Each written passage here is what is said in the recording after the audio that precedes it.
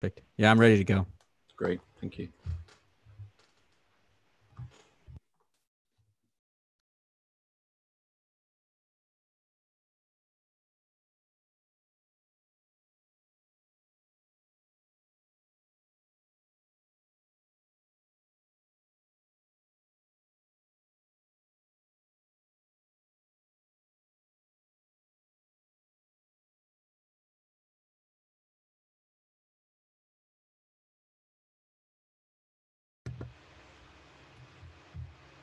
Can we promote Andrew? Can y'all hear me?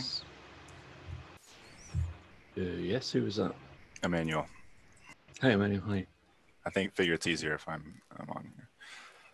Yeah, that's cool. Who am I promoting? Uh, Andrew, please. Andrew. Oh yeah, I'm sorry. And then you can be uh, panelists, panel uh, attendees as they come in. So I should just let everyone in now as a panelist. Yeah.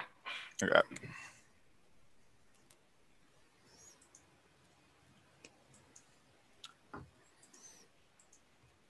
Right.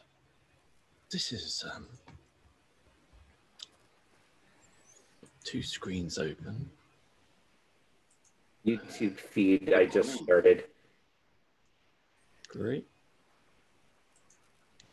It's such a shame I can't actually see everybody.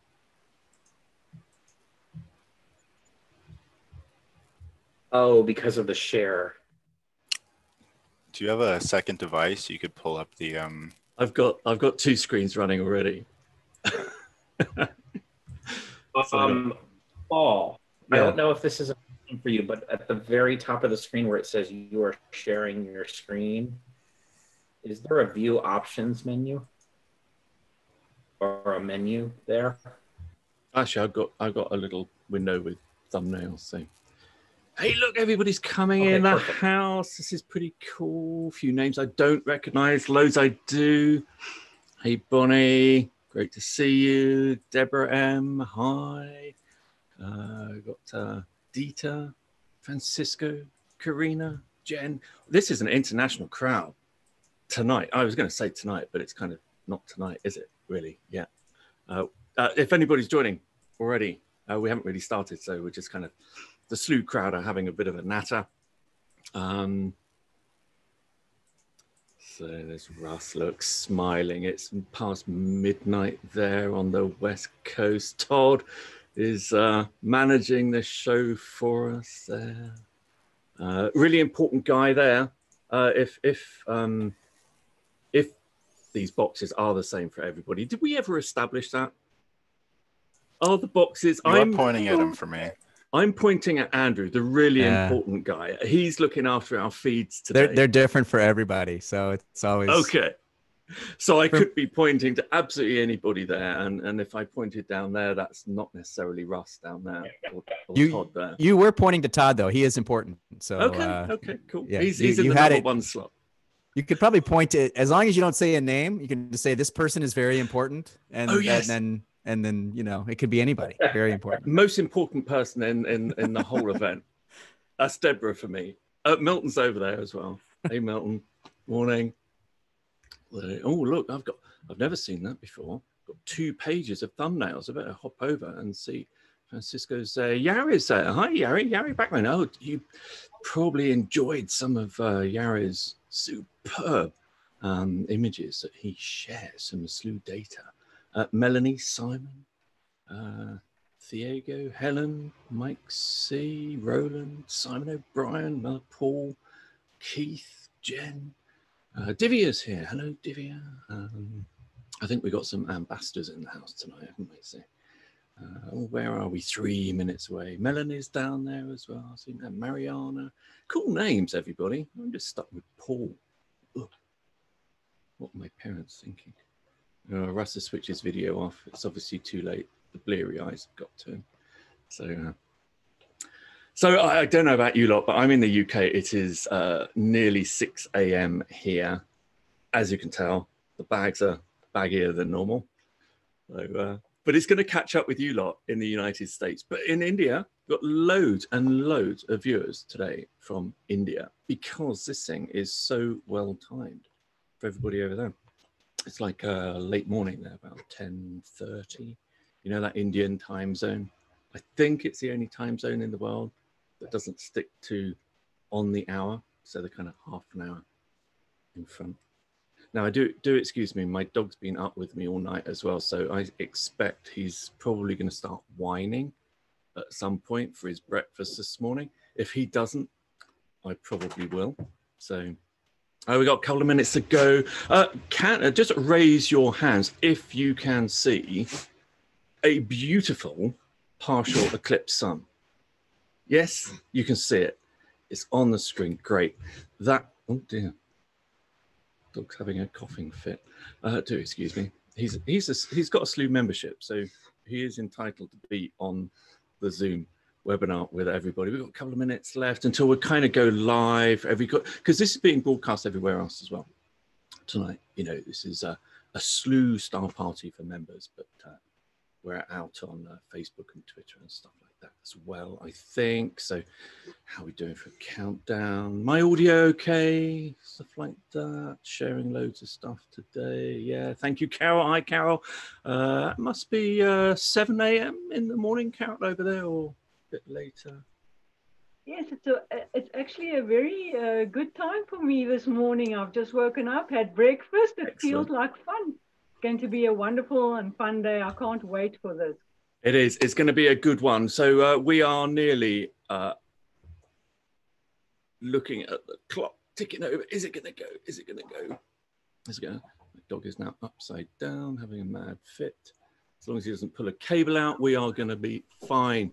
So I reckon, there we go. We should get underway.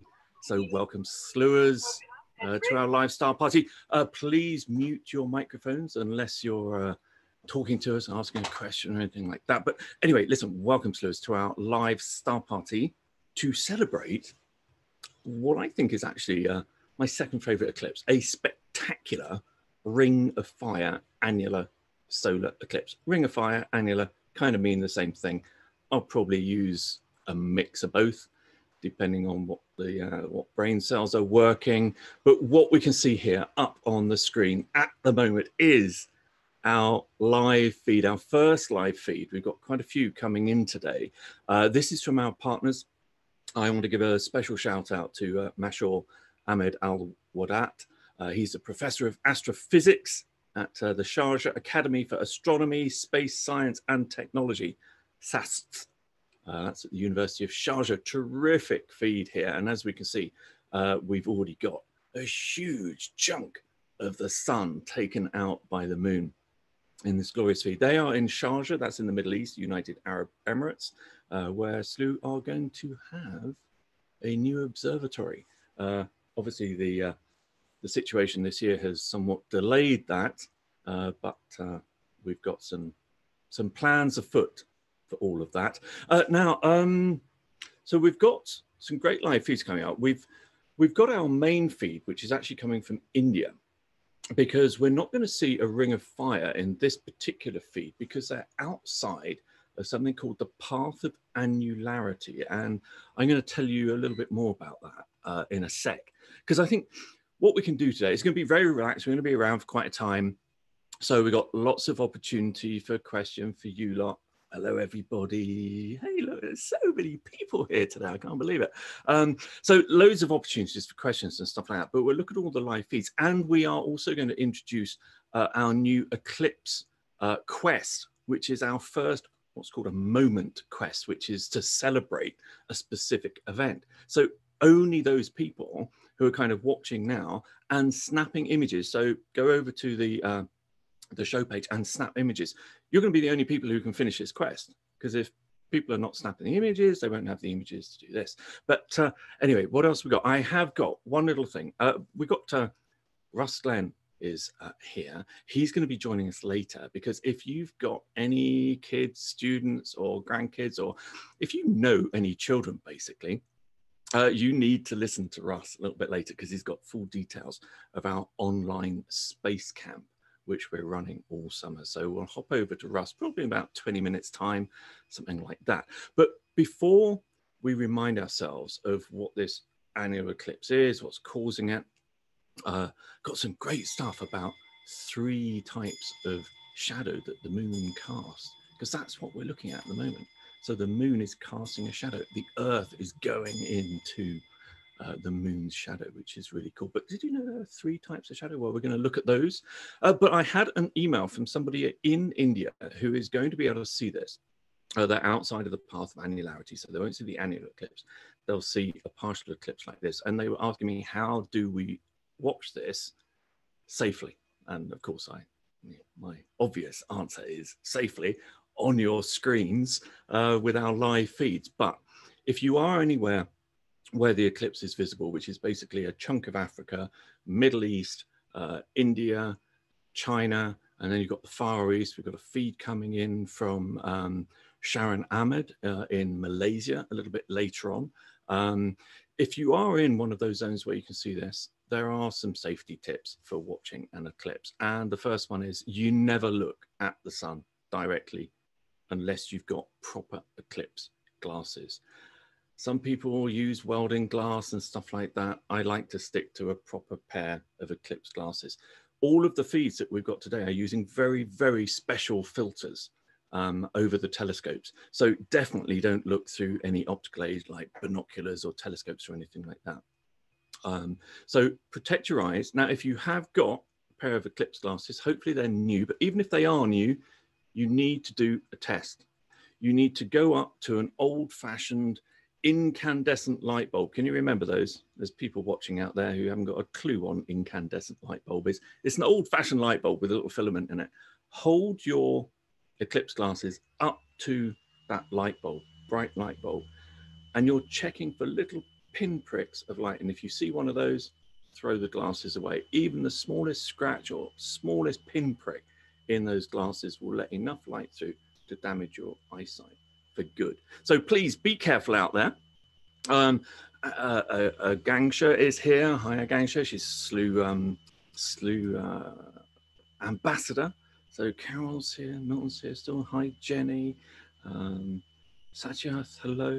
Yari's here again. Stan, hey Stan. Stan's looking nice, relaxed there. Hey, uh, Bob. Uh, I, I want to know a little bit later. Uh, we're going to look at the eclipse now and kind of this whole event but I want to hear a little bit later. So be prepared where you're all from. All right, we kind of do a little roll call for anybody who's interested.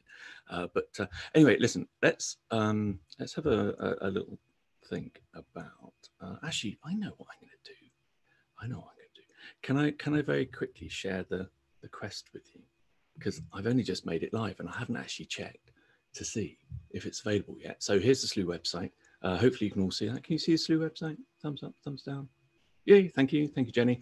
Uh, thanks, Ross. Uh, right, so we go to quests down here. I bet there are going to be loads of shared observations um, of the, uh, the eclipse later on. So here we go, Ring of Fire, solar eclipse 2020. And we got a total solar eclipse coming up uh, later in the year. Uh, so here is um, our quest. And hopefully you are all snapping images because what we've uh, what we've got here is one heck of a good poster uh, for you to fill out, right? This is going to be your poster.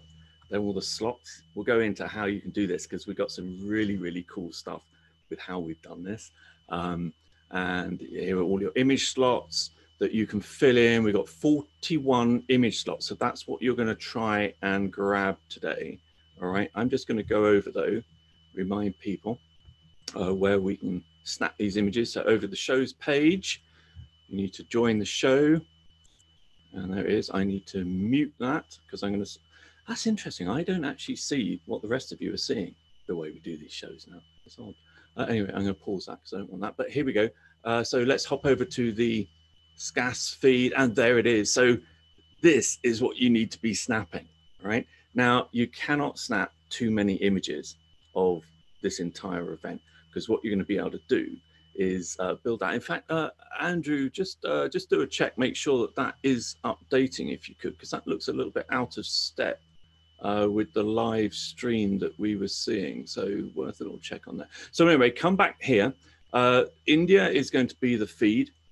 Uh, it's not up yet, but it's going to be the feed that we see annularity, the ring of fire in. So you need to keep a little bit of a close eye on that. Andrew will let us know. He'll alert us later when that one comes online. Uh, so let's have a look at that. I'm just going to snap another one just to go. That's the Slooh test card. Uh, EAC isn't up and running yet. So that's EAC in the Middle East, by the way. That's another one of our feed partners. But anyway, uh, let's hop back to the quest because we've got some cool information in the quest, which will be a nice little kind of aid memoir. Getting hot here in the morning, so switch the fan on. So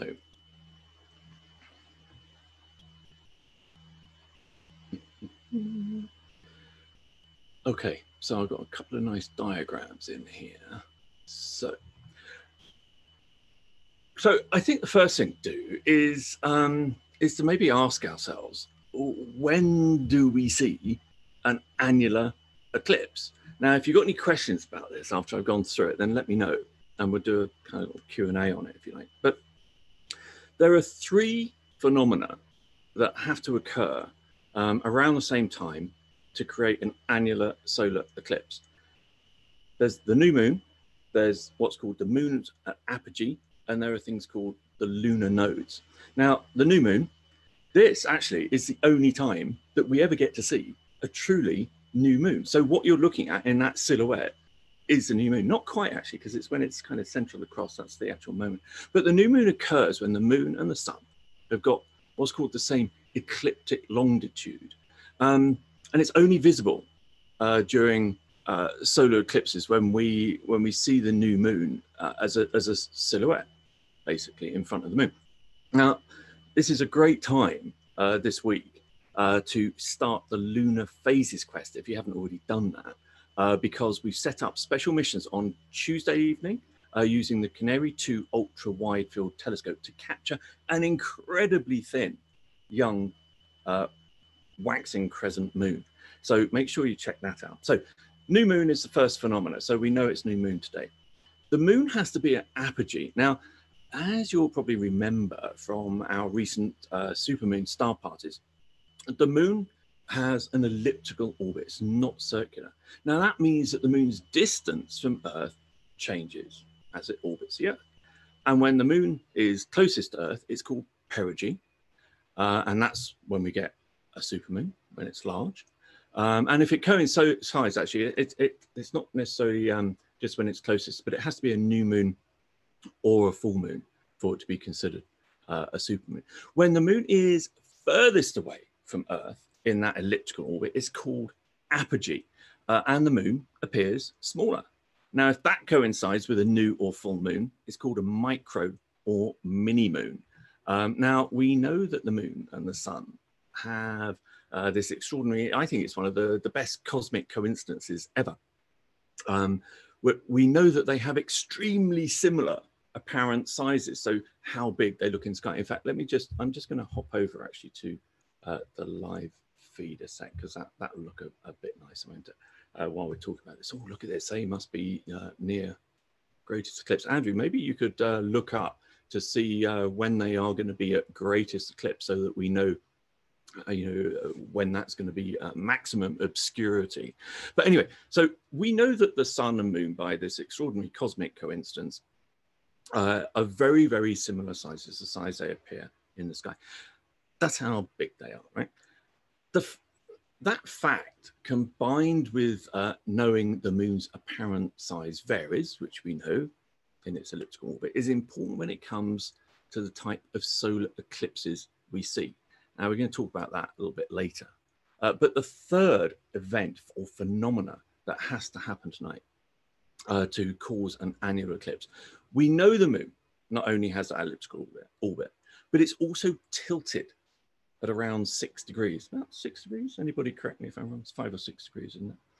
Uh, now, there are two points, and those are called these lunar nodes in the moon's orbit, where that orbit the path of the moon, intersects with what's called the ecliptic. Now, the ecliptic is the plane of the Earth's orbit around the sun. It's basically the path the sun takes through our sky uh, over the course of a year. Now, if at new moon, the moon isn't close to one of those lunar nodes, uh, from our perspective anyway, the moon is either above or below the sun. So we don't see an eclipse. That's why we don't see an eclipse every single solar cycle, every, every lunar month. Uh, but if the new moon is close to one of those lunar nodes, that's when it passes directly between us, Earth, and the sun, just as we're seeing in our live feed here. Um, so that's kind of the three phenomena that have to come together. And it's one of the reasons why this is actually quite a rare kind of eclipse, these annular ring of fire um, eclipses. Now, I think it's worthwhile actually.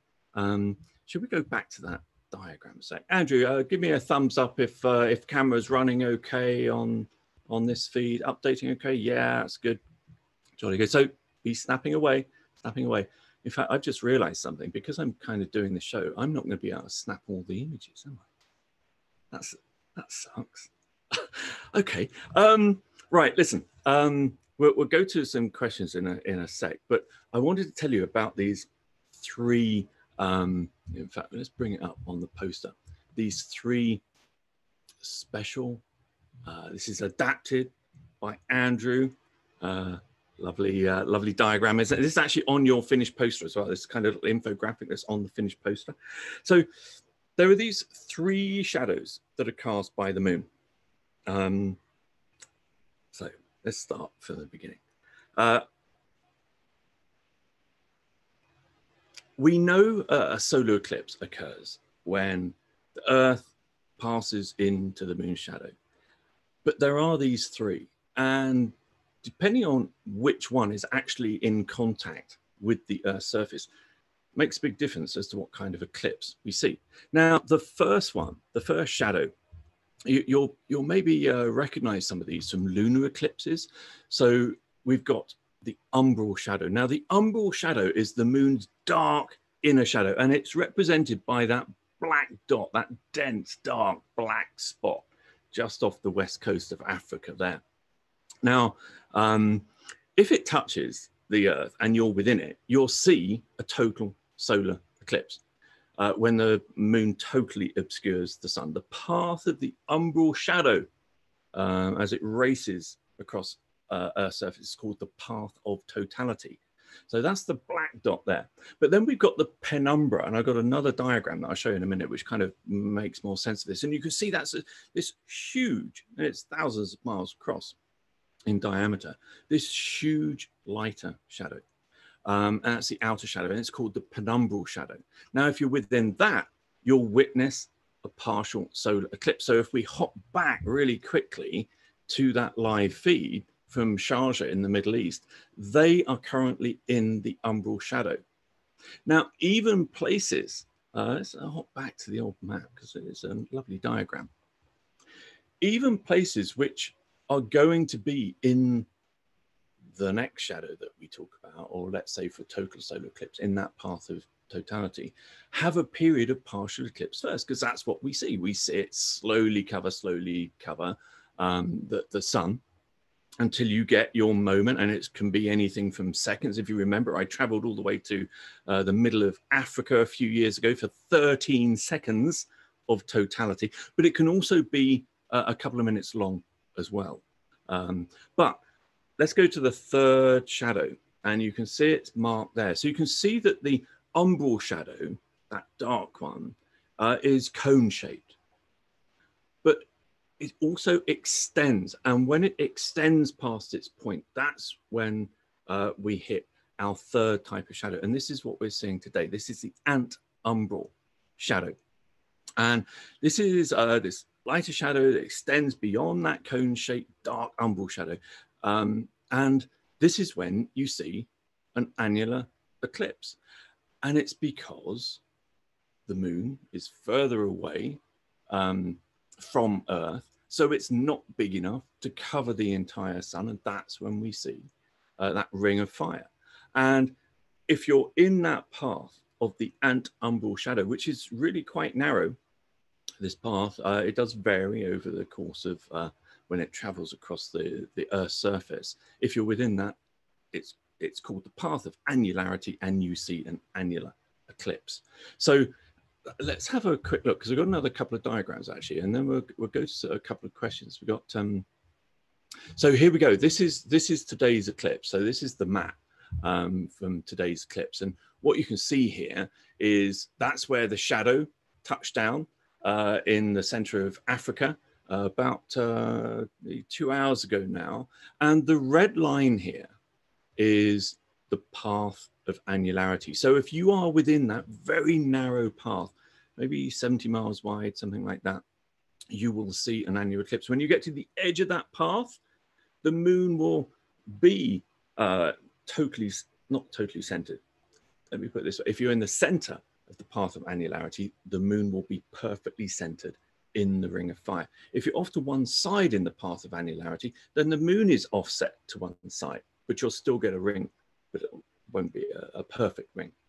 If you're outside of that, in all of that blue gridded area, that's where you're going to experience um, a partial solar eclipse. So you can see Middle East is down here. This is where the feeds are. They're incredibly close. So it's actually going to be quite a, a deep partial eclipse. They're going to get quite a lot um, of the sun obscured.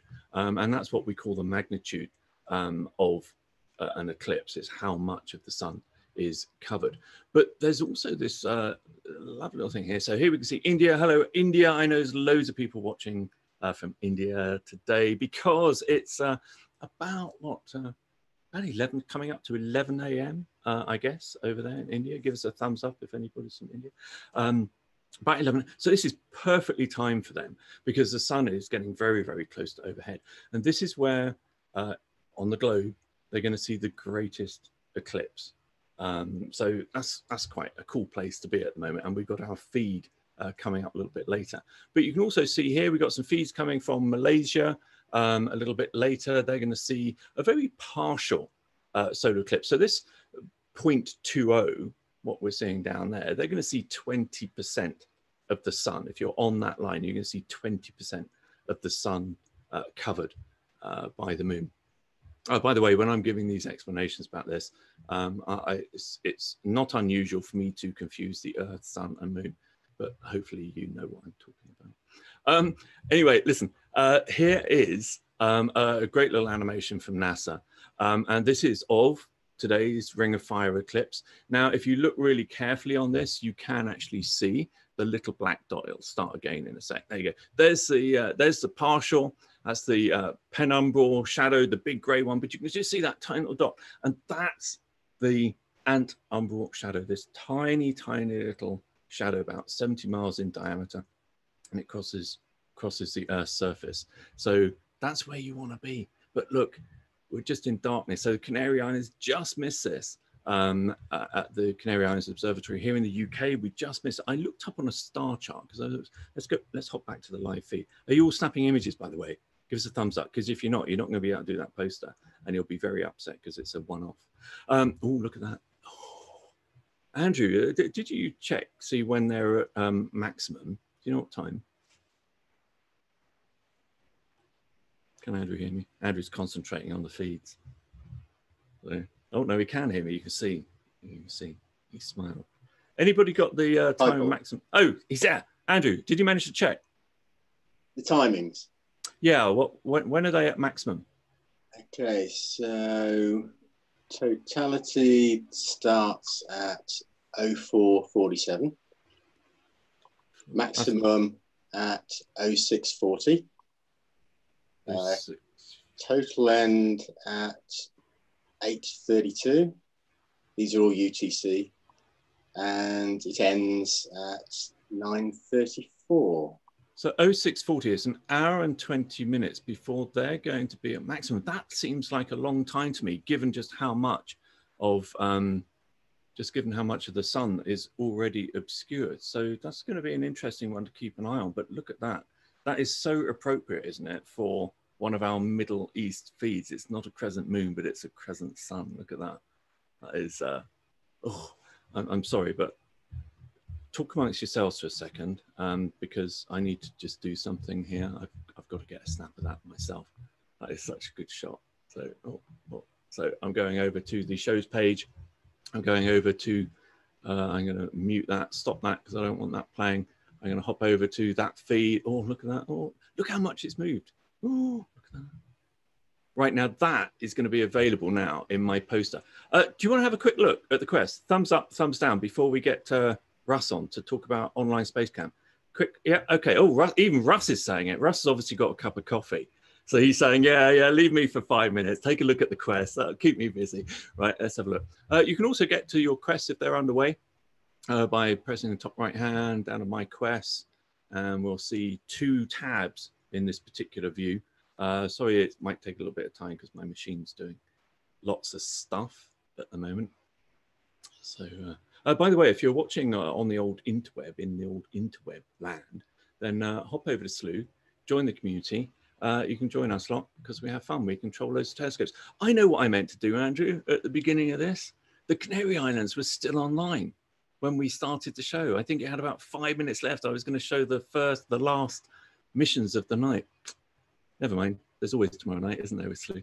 Right, here is the quest. Um, but um, let's let's scroll down. Now, everything I've just told you about there, uh, if you want to recap, if, if you want it without my 6 a.m. stuttering, um, you can you can read it all here, folks. So there's a good reminder. You can rewatch the show here. We haven't even watched it first time yet, have we? But you can rewatch it there. Um, so there's a recap. Tells you what an annular eclipse is. You know, all the normal stuff in the quest, um, but no questions. It's no questions in a quest, good or bad. Mm, I don't know. I don't think Carol will like it. Carol likes to stretch the grey the grey brain cells. Right. This is the next step. Step two is the one that uh, we want to have a real good look at today. And we'll do it after Russ. We'll take a good look um, after Russ. But uh, here we've got our poster. Now this is just a dummy poster. All right. So we've got 41 image slots. Now you can capture more than 41 uh, images in all of our feeds today and put them in your poster. Uh, and you can put any image in any slot, um, which is quite good because I've got something to show you. I'll, I'll, show you a little bit later. I think is really cool. I, Andrew and I came up with this idea. It's, it's, just good. So that was a test image I used earlier. But uh, look, there is my image. So this is a special object in the Slooh 1000 object. So it just comes up as that. Now, slot 41, the one I've just chosen, is a special slot. We'll see in a sec. So while we're waiting for the circle, oh, I thought I had time for a slurp of coffee then, but it's very unprofessional, but I'm amongst friends. So there we go. Um, so 41 is that middle slot. Uh, so, hey, Paul. Paul's just been joined on the sofa um, by his partner. Uh, right, I'm going to hop over now. Uh, important one. Um, do not claim your badge on a quest until you know you never, ever, ever want to make any changes to it. Because as soon as you claim your badge, the quest is locked. You can't change which images, you can't change your questions, you can't change anything about it. So big, uh, big, uh, big tip there. There, look at that. Isn't that a cool poster? I like it. But I got some really cool things, right, to show you because imagine all of these slots. You don't have to use all of the slots. Now, some of you are already, I bet Yari is already thinking, oh, I know what I can do with that. You can just place some images in different slots. You can go along the rows, so you can do it kind of chronologically. You, how about a spiral? Go along, down, round as the eclipse progresses. Uh, or you could just use kind of the center of each one and form a circle of images. And I'll show you how you can then edit that afterwards to make this poster absolutely the bee's knees. But while I flick back, uh, we, will go into that a little bit more. Let's have a quick look at that feed. Um, so I'm just going to tell you, actually, give you a quick update before we get Russ on. Um, so this is from our partners. Uh, the uh, I always have to read this because they they changed. It used to be just SCAS, and then they added a couple of words. So it's now S a A S S T, which is not easy to say, and you can't kind of say SAS. Maybe we should have a poll. Maybe we should have a Zoom poll how you pronounce that. But anyway, it's the Sharjah Academy for Astronomy, Space Science and Technology at the University of Sharjah. And they never let us down uh, with a good eclipse feed. And what we can see here, I, I wonder, I, I'm going to look up while, while Russ is telling us about online space camp, I'm going to take another look to see just how much of uh, of the sun is going to disappear. They're not going to see annular, but they are seeing a very deep partial eclipse from what you can see there. But uh, we've got feeds coming up from Sirsa in India. That's going to be that is in the path of annularity. That's going to be a good one. Uh, we got- when you can Uh, we got another feed. Um, moon, you can just see Uh, Helen, could you could you mute yourself, please? Um, thank you very much. Um, we got an, another feed uh, from Abu Dhabi. Now that is online. Uh, we'll show you that um, after Russ has finished. Um, what else we got? We got a, another feed coming in from Malaysia and the Dubai Astronomy Group. Um, Andrew, I'm not sure. I'll, I'll send you the uh, the URL for that because I'm not sure you've got that. But anyway, listen, that's enough for me for a moment because we are going to hear. Don't forget, if you know of any children anywhere in the world who like a bit of space, like a bit of technology, stuff like that. Excuse dog licking noises. Excuse me, mate. Don't do that in company. Um, if you know any children anywhere in the world, you need to listen to Russ because Russ is our director of education and he is going to tell us about the online space camp. Russ, first of all, am I too old to join the online space camp for summer? Uh, I'm sorry, Paul. Yes, you are too old for space camp. So uh, we, we have had many, many people uh, offering to uh, be the chef, I think, at space camp. But uh, uh, yeah, you're, you're, you're a little, you're a little bit old. But um, if you do Oh, know thanks, any, mate. any students, you know, we're, we're, we're, uh, we can handle any students. And I think it's interesting for any kids to join up um, elementary, middle, high school. Um, you know, we're, we're getting together and we're having uh, star parties kind of like what we're doing tonight. Um, we're getting together, we're looking at the telescope feeds, we're capturing images. We are, uh, every week has a featured quest that we dig into. So, um, you know, we, we spent earlier uh, this month in the spring fall celestials gems quest collecting images talking about the objects that we're seeing fielding questions the kids have lots of questions and then um, uh, yeah we've got we've got some space campers on uh, on this feed tonight. So big shout out to you uh, kevin. I know kevin's on tonight. There might be some other folks too but uh, you know we we're having a great time. And uh, you know even if the telescopes are not functional we are we are doing some some great interesting stuff. I'm playing some songs. We're reading some stories. We're uh, you know looking at the uh, at the different constellations and we're learning about the the different myths associated with them not only the greek myths but also myths from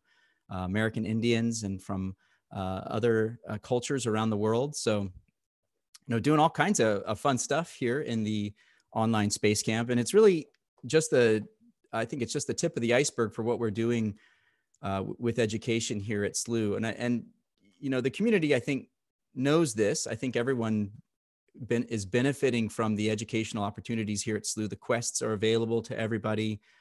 Um, so we have students that are digging into it. Um, we also have a, a, uh, partnership that we've recently formed with the International Planetarium Society.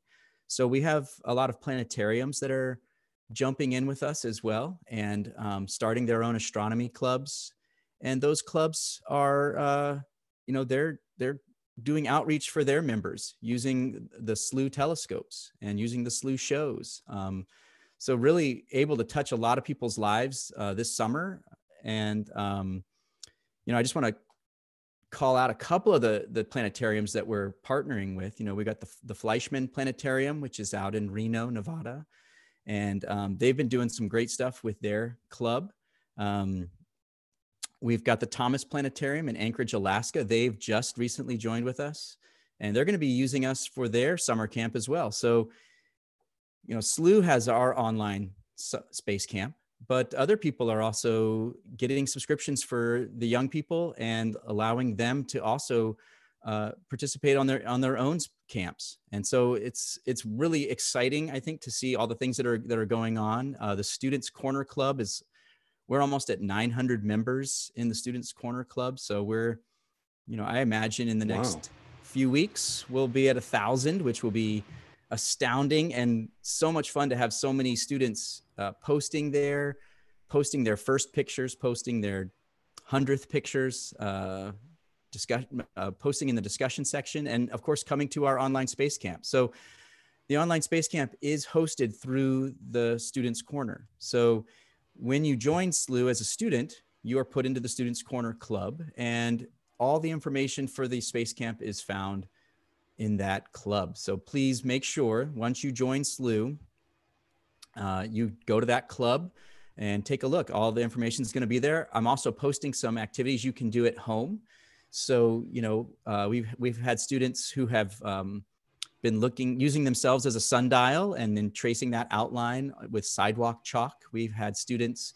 Uh, I sent home uh, an, an, activity for them to make some rockets using effervescent tablets. So um, you know, lots of fun things that we're doing that take place on Slooh using our telescopes, um, and but also things they can do during the day uh, that keeps keeps them occupied as well. One other thing that we are doing that I think is really fantastic, and I would encourage uh, any of you who are who are educators out there or no educators, we also have uh, some free professional development about how you can use Slooh in your classroom. Uh, Slooh is an incredibly powerful tool for learning astronomy uh, but also for learn, learning the scientific process. So um, if you want to get an idea a little bit more about that, um, you can reach out to me at russ at slooh.com and I'm happy to uh, plug you in with our professional development for this summer. Um, you know, we've got Slooh in classrooms, but we've also got Slooh at the college level. So college labs are, um, are using us this summer.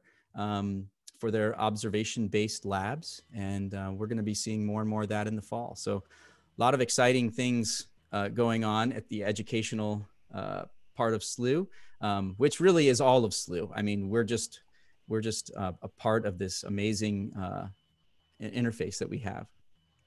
Russ, what, what's the uh, what's the most popular quest students in Space Camp are, are, are doing? Do you think? Have you had much feedback? Well, so uh, I mean, they're all jumping in with our starter quests, which is really great. It's a it's a good Cosmic place for Explorer? them to be. That's a good place to start. Cosmic Explorer. Cosmic Explorers is good. Um, I think they're you know we're uh, the students have really been enjoying. You know, we really enjoyed the spring fall celestial gems quest. That was Ooh, that yeah. was really great. Um, and then we we launched into the Messier quest Messier Ooh, big challenge, big one. Yeah, collection. Um, you know, this this last week we did have uh, you know a couple of days without uh, where the weather did not cooperate. So, um, you know, um, one of the wonderful things I think about the camp is it gives kids the opportunity to really learn how to optimize their time with Slooh. So, um, and that's su- super valuable for them. They're often running. They're all doing their own things you know, uh, on the days we're not having camp. So, um, Nice. yeah, those are the popular ones.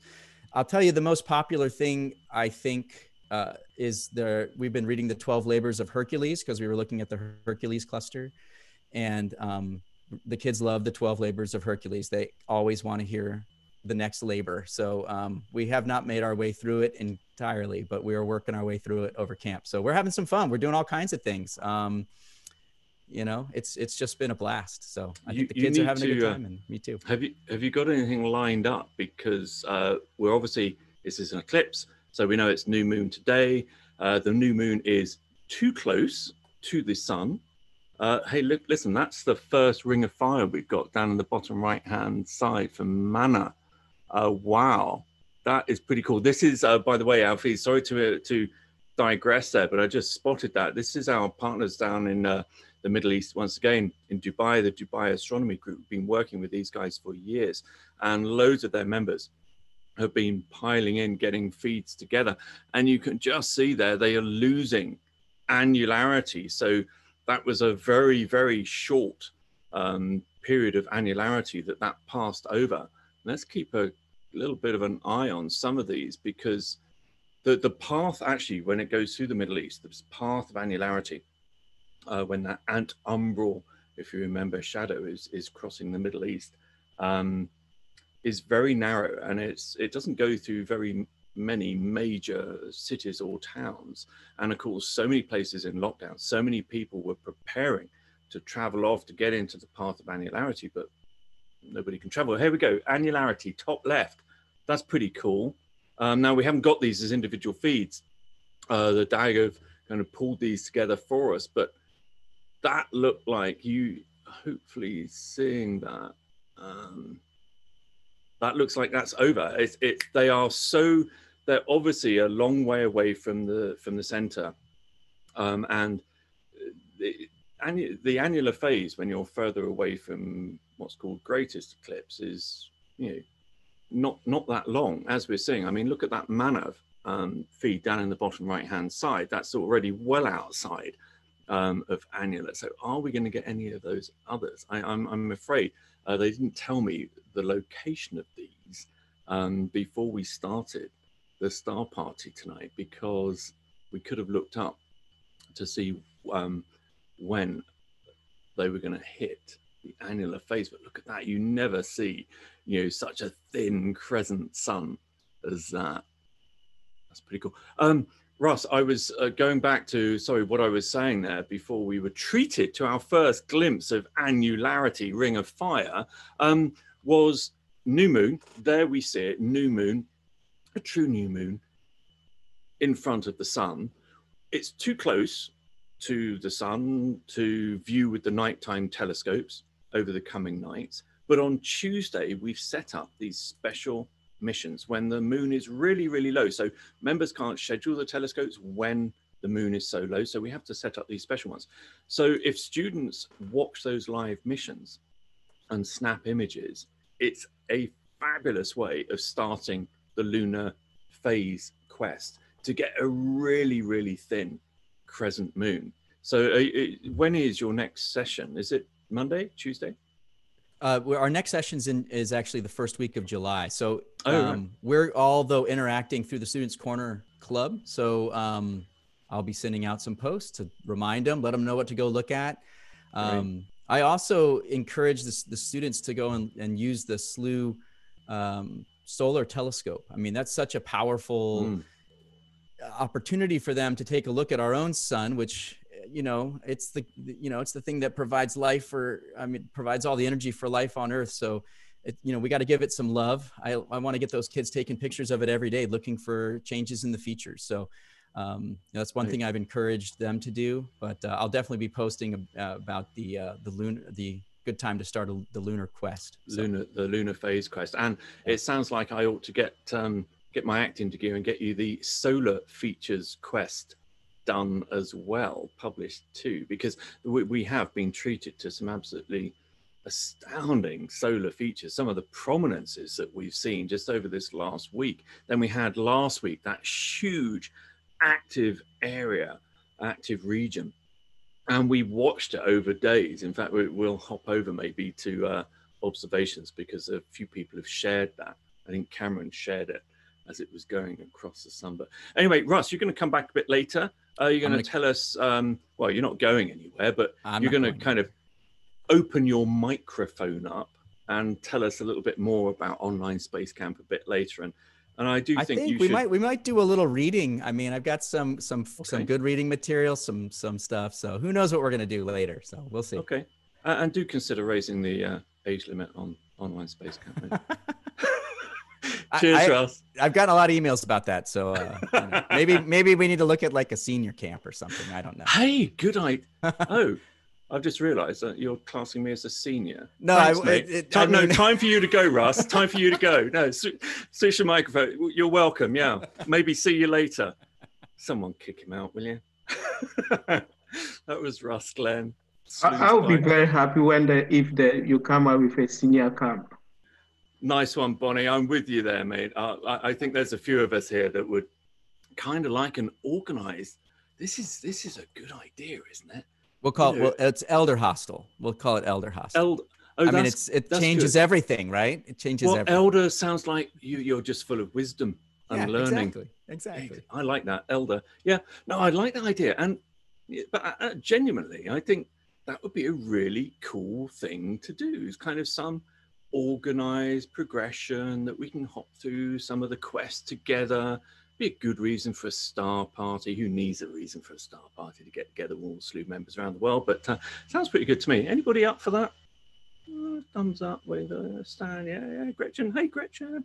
Uh, Satya, yes. Carol's always up for it. So thank you very much. So, no, a few of you not. So, oh, yeah, down there. Uh, sorry. Um, can't see some of the names, but uh, yeah. Oh, look, we got four pages of Slooh members. This has to be biggest star party ever. Wow, cool.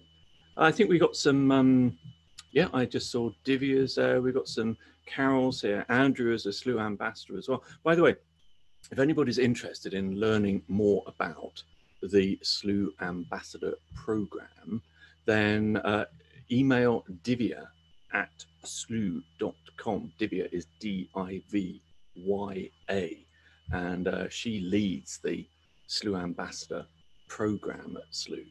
Uh, it's, it's pretty cool. Uh, Carol's one, Andrew's one. Um, I'm sorry, I don't I, I don't know if anybody else is here. I can't see anybody. I've got so many screens in front of me, but here we go. Look, we're still on the Dubai uh, astronomy group. Uh, in uh, I think they are. They looked like they were uh, from a number of places. But listen, just while Russ was starting, um, when I was pretending to listen to him, but wasn't actually, um, I just looked up the so our main feed um, that we had from Sharjah, they're actually going to get 86.5%. So 86% of the sun's surface um, is going to be obscured. And actually, we need to hop back to that because that happened five minutes ago. So that was, right? Um, let's just hop back over. Um, it's not that one. Do excuse me, we're juggling a bit today. So what what we've oh, no, it's not that one either. Let's pause that. Uh, there we go. So that that is just about 85% of the sun covered, which is pretty cool. So what we saw there was that we switched to the Dubai Astronomy Group just at the right time because uh, let me just show you actually. I'll show you another. I'll show you the map that I'm actually looking at for this. Um, so here we go. This is this nice little intelligent map. So here we've got the Earth, and we can see this path of annularity. So if you are in that path, you're going to see an annular eclipse. If you're outside of it in the green zone, you'll see a partial solar eclipse. Um, and what you can do with this map is you can zoom in and I just popped a little pin there and you can pop a pin anywhere. So if we popped a pin in the path, uh, we can see it's telling us, yes, there's going to be an annular eclipse. That's what you're going to see. The duration of it is 46 seconds. Um, obscuration 98%. Of course, on an annular eclipse, it never reaches 100% um, because we've still got that ring of fire. But what we saw there is the that we said at the beginning um, of this show. Let's go full screen. That's, that's cool. Um, this the Antumbra shadow. So this this lighter shadow um, touch touchdown over here in Africa, and it races across the surface um, at tremendous speed. I think. I think actually it can go thousands, no hundreds, hundreds, certainly hundreds of miles an hour. Maybe maybe somebody can can look up, do a bit of googling or something, um, and look up uh, the speed that the path of totality and path of annularity. In other words, the speed of that shadow, because it's only a dot. We're seeing a path here, but that's the path it takes over maybe three hours. Um, so it's whizzing across. So what we saw there when we were looking at those feeds, they were all reaching their peak um, of, of how much the sun was going to be skewed. If they were inside the path, then they saw the annular. If they're outside of it, uh, like our uh, Sharjah feed, then they're seeing a partial. And up here, it was telling us 86%, and that's where I was getting the time from. Now, that shadow is now racing across. I think that's still the, no, it's going to be the Gulf, isn't it? Indian Ocean. Um, I don't know where the Arabian and Gulf and Indian Ocean actually meet up. But it's then going to hop across Pakistan. Very few feeds coming out of uh, Pakistan. But then we have got um, our number one feed, and we're hoping that uh, AJ Talwar uh, is going to be in Sirsa. And if I can just find Sirsa for you, it's right up here. I think I've got to zoom in a bit more. Uh, and you can see actually that the greatest eclipse um, is occurring just on uh, the border um, of uh, India. Um, and it occurs in the Nanda Devi National Park. Now, if you're having a sense of deja vu, the last annular eclipse was incredibly similar to this. It had an incredibly similar path. Um, I'm just trying to find Sirsa. I think it's a smaller place. So anybody can see it, shout. I think it's somewhere. It's somewhere close up here. All right, Sirsa. Uh, I can't actually see it. Uh, but this is the rough time where, uh, so what we've got here is Eclipse has already started. So the partial has six, yeah. The partial um, is already underway for them. So we will maybe ask Andrew to check to see if their feed is up and running yet. Um, and then at 0638 or roughly, um, so about another three quarters of an hour, no, about an hour. In about an hour's time, that's when we should be seeing annular. So Andrew, if you are um, there, um, I don't know if you can tell me whether or not they um, have got their feed up and running yet. Uh, excuse me, just rearranging some things on the screen. Is this India, Paul? Yeah. Yeah, it still says waiting for AJ, so it's not uh, not Okay. live. Okay. Unless So he let's, swapped to his URL. no, no, no. He wouldn't do that on us, surely. Uh, no, no one's ever done that to us in the past, have they? Mm, yeah. Okay. Uh, I will just check my email. Uh, now, listen. While I'm just checking that, folks, uh, any questions so far? Oh, hold on a sec. I've got uh, an email from. Oh no, we missed it. Oh dear. Actually, um, we might be able to do a replay on this. Andrew, I'm just going to send you something, um, which is from Oman. Uh, that was uh, Sharjah's, uh, so our partners here um, who are providing this feed that we're seeing, uh, secured another feed from Oman, which is in the path of annularity. Um, so we might take a little look at that. But anyway, uh, what I was going to say, folks, was been too much of me so far. Um, got any questions, anybody? Um, if you have, uh, unmute your microphone because I won't be able to see all of the thumbnails there. Um, so there are some Q and A's actually in there, aren't there? So uh, yeah, it's just people saying where they're from. Actually, where is everybody from?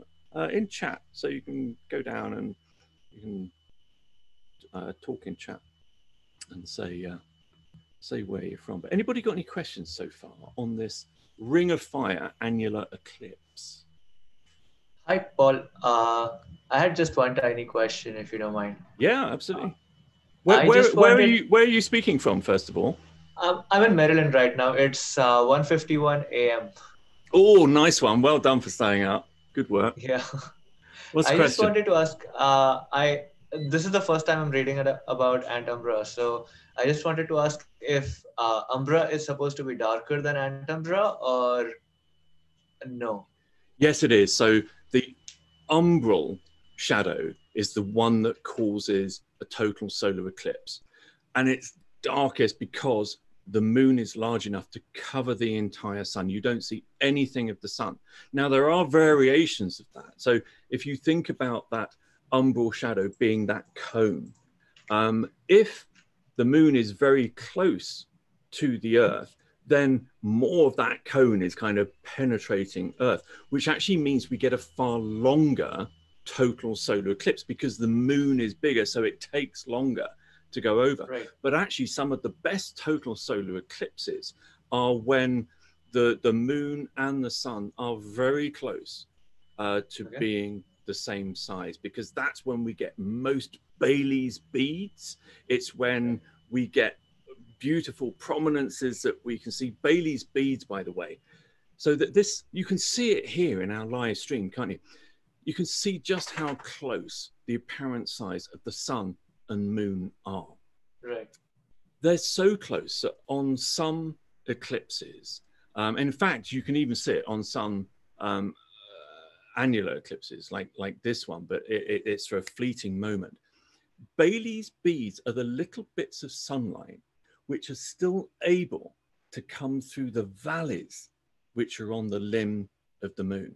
And they're the most beautiful things. They almost sparkle and you, you, you get them kind of sparkling around as the moon is slowly moving over. So umbral shadow, very, very dark because it basically obscures the entire sun. Then you've got this um, penumbral shadow, and that's where Sharjah is at the moment. So this feed that we've got at the moment, they are in the penumbral shadow. So we're partially shaded, but we've still got some direct um, sunlight hitting us. So that's a lighter shadow. Then you've got this ant umbral shadow. And this antumbral shadow is this weird thing. It's the extension of that umbral cone. And the cone kind of turns inside out, if you like. So where although the moon is centrally placed over the sun, we're still in some direct sunlight because it's not big enough to cover that, that ring of fire. Um, now, those are the three types of eclipses. But some people, and I wasn't actually aware that there's a fourth type of solar eclipse, and it's called a hybrid eclipse. And this is what we witnessed in Africa. My calendar in my head is I never remember year. I, I don't know how old I am, let alone when this event actually occurred, but it's sometime over the last 10 years. Uh, Stan's laughing. Stan is sympathizing with me there. How, how looks like he's sympathizing as well.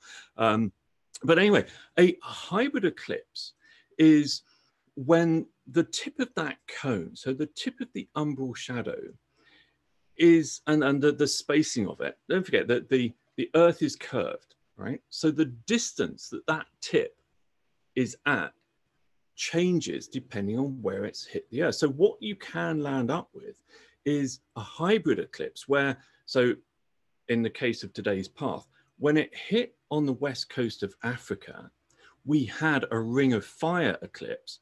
But then as the shadow moved across Earth, it the Earth, basically the Earth moon distance was closing between them. And it then turned into a total solar eclipse. And you, you never see both at the same place. But on the west coast, we had on the west coast of Africa, we had feeds coming in of an annular ring of fire eclipse. And then by the time it got over to Kenya, we experienced the probably the most magical moment I've ever had uh, in astronomy. And it was this 13 seconds of totality. Um, and it was it was so astonishing because it had been we'd had a dust storm just as we started our live coverage, we had to pack all the equipment up under big tents and tarpaulins and stuff like that.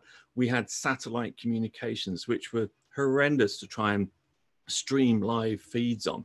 And we'd, we'd had a, a five day expedition in four by fours over the roughest possible ground you could ever imagine across Africa in the worst conditions camping.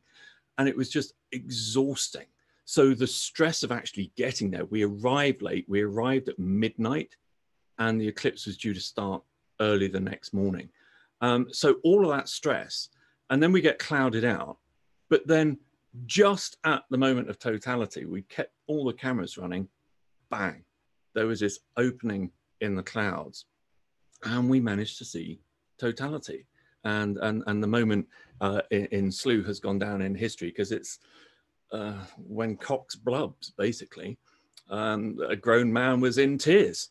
Um, so that was my qualification really for uh, probably joining this the students students uh, online space camp. I still cry, and I'm proud of it. Uh, anyway, listen. Any more questions? Thank you very much, uh, Satyath. I hope I pronounce your son your your name right.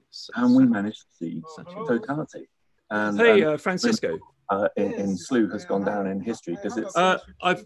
Can you can you mute the show or get a microphone close to you because we're getting some feedback. within tears. Um, so that was my qualification really for uh, probably joining this for students, students uh, online space camp. I still cry, and I'm proud of it. Uh, anyway, listen. Any more Francisco, questions? could you could could- you mute your microphone because Uh, we're sure. getting quite a lot of um, feedback. You need to turn the volume down of, of the show. You've got the show, I think, playing somewhere, um, and then ask. Uh, anybody else? While Francisco, present now with any no, we Um, still so we can still hear the show. For uh, probably joining this for students, students uh, online space camp. Sorry, Francisco, I've had to mute you because we can hear the the background uh, of the event playing. Uh, while Francisco sorts that out, anybody else got any questions for us? Look at that. Gentlemen, I have a question for you. Awesome. Hey, Keith. Thank you very much for this wonderful show. I love the Star Party. And uh, on a are you? lighter note, I'm in Pennsylvania. Pennsylvania. Okay. Yes, sir. Uh, so, on a lighter note, uh, apart from all the wonderful knowledge that we've learned, we have to get down to the nitty gritty. This is a quest. How many gravity points are we going to earn? For it? 100 gravity points, Keith. Um, it's, That's it's, um, it? I- listen, come on. If you look at the life cycle of stars, SCA right, is 100. 200 gravity points for that. I, I did Okay. think about this one, but but come on, we, we're giving you an joking. easy. I'm joking. I, I know, I know, but we're giving you an easy ride because there are no questions in it. All right, so a lot of the quests have multi-choice questions and stuff like that. Fair Um, enough. So Thank we- you we for your excellent work. Yeah, we kind of. Well, did you do the voiceover for the um, the Pluto rediscovery? Yes, I did. Yeah, I- yeah, yeah, yeah. Uh, it's one of the- fantastic. It's excellent. I, I am an educator, and I totally plan on uh, sharing that with my students. It's a great. It's my favorite. Uh, my Wow. favorite quest. Thank you so much for Well, that. thank you very much for that. And we were trying something a little bit new, and we Russ actually had quite a lot of positive feedback from a lot of the the, the classrooms on that one. Um, and uh, John uh, Boisvert, who's been who did the his first quest launch last week, the life cycle, the life and death of stars. Um, which is an epic quest, absolutely epic. Uh, he's he's going to do one of those kind of little video storylines. First of all, I'm also working on the next quest that I'm doing, uh, is about Cepheid variables, uh, which is uh, Henrietta Swan Levitt. Um, so we're going to tell the story of her. It's actually one of the levels that you can be um, at Slooh, which is quite cool. Um, hey, Russ, uh, uh, give us a fu- thumbs up. Will, uh, are you coming back on to tell us a little bit more about Online Space Camp? I would love to talk about online space camp. Among other things, I can talk about lots of things, and uh, you you should hear me on online space camp. And, and I would like to mention that uh, you know we we jest a little bit about uh, you know can people who are not students uh, join online space camp, but they, they are on the Slooh show page. So if you feel like you're missing out and you want to go check it out, go check it out. Go see what we're doing. Now, you you can't be in our Zoom webinar unless you're a student, but that's um, just the the way it is. And um, you know, we do it. We do things a little bit differently in because we're we are working with kids, so we we don't promote everyone to panelists and that sort of thing. Um, I, I'm the only face people will see, uh, and that's just for privacy purposes. So it's a, it's a safe environment, isn't it? And it's It the is- same in Students is- Corner Club as well. it, it is it is a completely safe environment. Um, you know, we want the kids to to feel like they can ask all the questions that they want. Um, and uh, you know, and they certainly do. We get tons of questions, and um, you know, I I think uh, you know one thing that in you were just talking about, and I this is something that I always try to to to talk to my students about. Um, I've I've been in the classroom for many many years. Um, and you know with my students in the classroom and but also with my new students here at Slooh, you know I think you were talking about uh, seeing seeing that eclipse that brought you to tears. Um, I think those there's those special moments that we all have that can that can really change our lives and and it can come down to a moment you know and and there may be a student out there watching this show tonight. I mean i think you've done such great work with this this quest. I'm i love it. I i love this moment quest. Uh it's just it's just awesome and all the quests are awesome. I mean the work that you and your team are doing with the quests is so great. Um they they they well i mean you deserve it. They're they are they are life changing they're they're great. They're great products. And um you know they're they're wonderful things for students to experience and they're wonderful things for adults to experience as well. Um so i just uh yeah i don't i don't think we've it. ever we've Loving i don't it. think we've ever launched a feature russ in Slooh's what is it 17 year history since 2003 which has proved so popular. Um and, and one of the interesting things is that even the old hands even the experienced amateur astronomers amongst us you know are are are doing them all. Um and you know the team's certainly enjoying creating them. Um, and, and we've got a, a you know quite a good cross section in our quest creation team now you know so we're doing we, we've got some uh, really back to basics quests um, for even uh, junior school kids coming up. But also at the other end of the the scale we've got a whole stack of high school and, and college quests uh, starting as well. And you know all of these quests uh, any normal normal Slooh member can can do any of them. So uh, but yeah we've got some great ones planned actually. Yeah it's it's it's so exciting. And one thing that i always uh, you know want to talk to my students about as well and i say it i say it every night and i so if they're out there listening they're they're going to say oh yeah russ is saying it again. I always tell them that the stars belong to them. You know i mean i think uh, we we hear the old stories and we we hear the we know the asterisms that that the, the patterns that have been seen in this in the stars but i i always encourage my kids to go out there and make up their own stories make up your own asterisms. The stars are they belong to you just as much as they belong to anybody who's been on this planet. So uh, you know get out there and, and make up your own stories about it. Have some fun with it. Um, and uh, you know you'll you make make up some some little of your own patterns with your friends. Um, you know go out at night and make up your own patterns come back in and look up those stars that you were just looking at look them up on Slooh plan a mission. Uh, i think those kinds of things are, are really really amazing and they i think highlight the, the power of of of what you can do with Slooh when you can go outside and pick a star out of the sky and then come back in and point a telescope at it. Uh, it's pretty cool stuff. So um, uh, hey yeah. Russ, I've just I've just been I've just been told that um, on the uh, event page, uh, the Dubai Astronomy Group uh, feed is in the camera and live. But I would recommend to everybody at the moment this um, uh, the University of Sharjah feed um, at the moment I think is giving us my favorite view at the moment. Um, look at that. That's that's my favorite so far. So um, talking of quests, uh, Russ, uh, you were gonna you were gonna do something else. So while you do that, I'm just going to um, hop over to my quest and change my favorite image in in my quest. Over Okay. Great. Yeah, please do. So, um, you know, I've I've actually have some students who are who are actually e- have been emailing me tonight. Uh, they're join they're joining right now and asking me how to how to get involved with this. So, you know, certainly, you know, get in here. Um, if you're if you're on the the live uh, stream watching it, maybe um, you can you can join Slooh and, and jump right in here and start on this quest. I think the quests are so they're such a powerful uh, tool for you to learn astronomy, and you're going to have some fun with it. You're going to earn some. Uh, you you heard uh, us talking earlier about gravity points, so you know you can earn gravity points, and you can level up on Slooh. So level up on Slooh. You could challenge your friends to uh, some friendly competition. I know uh, in my in my astronomy club, um, one of my great friends. I think he's on this still right right now. Todd Council. He's he's always throwing uh, down the gauntlet about gravity points uh, to me. So um, you know, start up a friendly competition with with you and your friends. Um, you know, with uh, with students, they love it. They dig right in. They love to jump into those, uh, seeing who can get the most gravity points uh, within each club you know, uh, from a classroom perspective, um, we use our astronomy club uh, with your class. So if you are an educator and you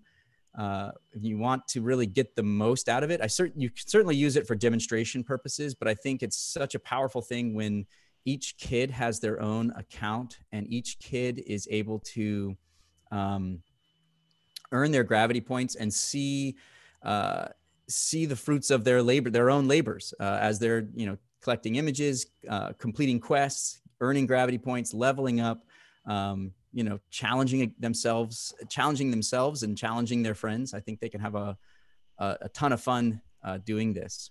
Um, and certainly the, the quests are one way to do that. The other way is is just engaging with our clubs. So when you engage with our uh, clubs, uh, you're you're engaging with the community. You're sharing the thing you know. You're research that you're doing.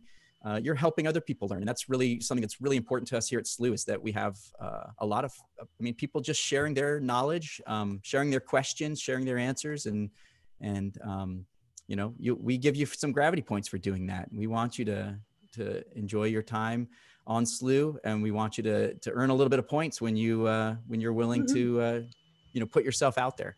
Absolutely. Uh, right, uh, uh, Russ, have you got anything else for us at the moment?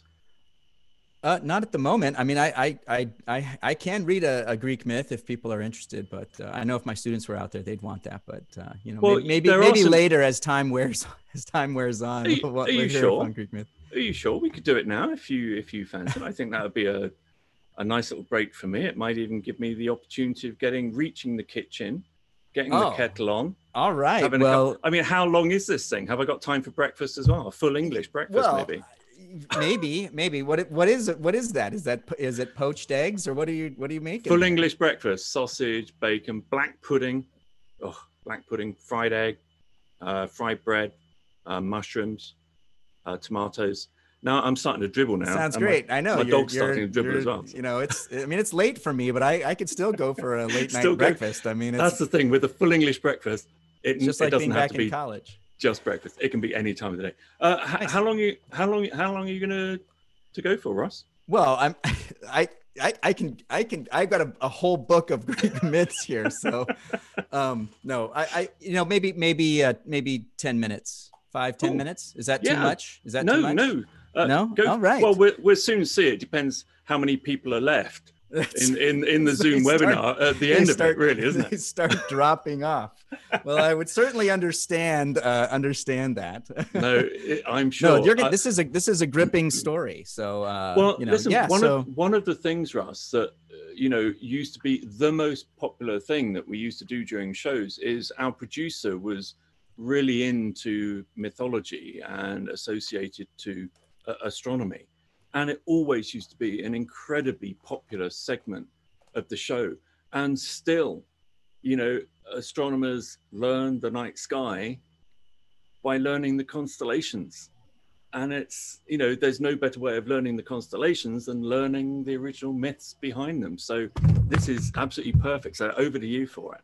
Okay. All right. Well, I'm going to jump right in then. So you know, um, if you have a if you have a cup of tea or something, this is this is a good time for you to to pull that out. Maybe maybe get a snack, that sort of thing. I'm just gonna I'm gonna read a story to you, and hopefully I don't um, I don't I don't butcher the names too much. Um, I was born in Greece, but I am not I'm not Greek. Uh, I was born in Athens. My father was in the the U.S. Navy and was stationed over there, but um, so I've always felt uh, uh, a, a, connection to the Greek myths. Um, and I will do my best. This one's the Chariot of the Sun. So this this uh, talks about the sun, but also maybe a little bit about what we're what we're involved in today. So Helios, son of the Titans Hyperion and Theia, was the god who drove the chariot of the sun each day from east to west across the sky, spreading light and warmth over the world. At nightfall, he would return to his home in the east in a great golden bowl, borne on the river Oceanus, which encircled the earth. There he would rest before preparing to set off once more on his journey as morning drew near again. His chariot was of gold, drawn by four fiery horses with golden manes, and he himself wore a golden helmet, sparkling with jewels of all kinds. Everyone who looked at him had to shade their eyes to avoid being blinded by the dazzling shafts of light that played all around him. Phaeton was Helios's son by Clymene the, night, the Nereid, one of the 50 daughters of Nereus, the sea god. He was brought up in the then fertile land of Egypt. Though Phaeton could see his father from a distance each time he passed across the sky, Helios's home was far away, and his daily task left no time for him to visit his child. If he had done so, the story of Phaeton might have well been a happier one. For as the boy grew up, he was taunted by his companions. They did not believe him when he told them he was that the sun god was his father. They thought that it was an idle boast to cover up the fact that Phaeton's father had left home. I will prove to you that you are wrong, Phaeton said angrily, for he was proud of his father, and his mother had taught him always to stand up for himself in arguments. He thought for a while and decided that there was only one way in which he could show that he was telling the truth. He must visit Helios and ask of him a favor, which, if granted, would leave no doubts in the minds of the other boys. So he set off, and after many days reached the place where his father's palace towered up beyond the eastern horizon. I am Phaeton, your son, he said, as soon as he came to his father. I have journeyed a long way from the home of my mother in Egypt to see the God who is my father and to ask him a favor. Helios granted his son warmly. You have only to ask, he said at once. But when Phaeton asked him what he wished to do, he frowned. What you ask is not possible, he said. Ask anything of me but that. Skill and experience and great strength of arm are needed to do what you suggest. You are too young still to be entrusted with such a task. For Phaeton, of course, had asked his father if, for one day, he could take Helios's place and drive the sun chariot across the sky. His friends would then see him and could not doubt that he had spoken the truth. Phaeton continued pleading, and for a while Helios remained firm, but he had given his word, and eventually he reluctantly granted his wish. Very well, very well, he said at last, but it must be for one day only. My horses are wild and untamed, and since time began, no one but myself has been entrusted to, to control them and hold them to their course. Go with great care. Drive neither too high nor too low. Follow the broad path we have beaten over the centuries, and keep your hands always firmly on the reins. For if the horses are given their own leads, disaster will surely follow. Dawn was approaching fast as Phaeton climbed into the sun god's chariot and took the reins in his hands. The horses seemed quiet and docile, and he felt confident as he cracked his whip and spurred them away into the clear night air. Up into the heavens they soared, and as they went, their light first touched the tops of the hills in the east, spreading downwards to the valleys and to the villages crouching in the hollows below. The horses tossed their heads, and their golden manes streamed out behind them, a wild light came into their eyes as they felt once more the freedom of the skies. And they sensed that the strong arm and iron will of Helios was not there to guide them. As they passed over Phaeton's homeland, he looked down and saw far below the tiny houses where he and his friends lived, the doors still firmly shut against the night. How will they know me? thought Phaeton. I must take the horses down lower so that they will recognize me and see just what it means to have a God for a father. Cracking his whip over the horses' heads, he urged them downwards, away from the path beaten across the sky by a million journeys down towards the earth. The horses plunged wildly, diving down closer than Phaeton had intended, so that the trees and rocks seemed to swoop up at him, then away as the chariot veered suddenly sideways and up again. From the corner of his eye, he saw a panic stricken group of his friends cowering beside his house. Then they disappeared from view again as the fiery chariot dipped and rolled. By now, the horses knew that they were the masters. They skimmed low over the earth's surface, searing the trees and grasses, withering the corn, and setting cities ablaze with the terrible heat of the sun. The fertile land of Egypt became a red, barren desert except for a thin thread of green where the Nile waters flowed. For a time, even the great river itself shrank to nothing as the water boiled and steamed. The next minute, the horses were galloping high at the edge of the sky itself, while the earth below grew cold and the seas froze into great blocks of ice. Phaeton cried out to his father for help, but the sun god could do nothing. It seemed that the whole earth must perish. And so it might have done had not Zeus, watching always from Olympus, seized one of his thunderbolts and hurled it with deadly aim at the boy. Phaeton fell from the chariot with a great cry and plunged down to earth, falling to his death at a place called Eridanus. There, water nymphs wept with sorrow, cooling his burned body with their tears, trying in vain to revive him. It is said that Zeus took pity on the mourners and turned them into poplar trees, their tears into drops of amber. There they stand forever, sighing in the wind, cooling the earth around them with their fluttering leaves.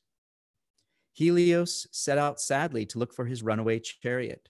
He found it high in the mountains of Ethiopia, parching the land for miles around as the four horses stamped and whinnied in confusion.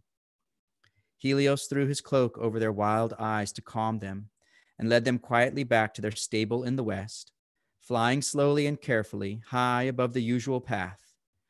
And for the rest of that day, darkness covered the land. And that's from a wow. book called Gods, Men, and Monsters. So, love this book. It's one I've had since I was a kid. Gods, men, and monsters, Russ, right? From the Greek myths, of course. Now, there's so many other myths too. And I mean, it'd be great to have people share those.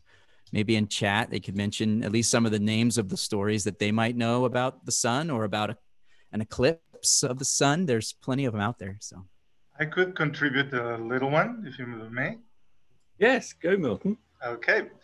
Well, uh, I'm from Bolivia originally, South America, and in South America, we have a very strong belief in the sun, right? And um, um, just briefly, I'd like to share my screen if you allow me. Yeah, if uh, studio can do that.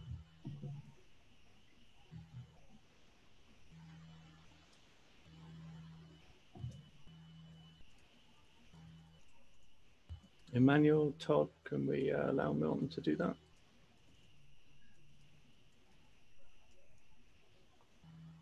As you work that out, uh, probably I should start saying that uh, around there, the, the sun has a different name. It's called Inti, I-N-T-I. And um, uh, for that uh, for that culture, let's say the sun is uh, is very powerful. Um,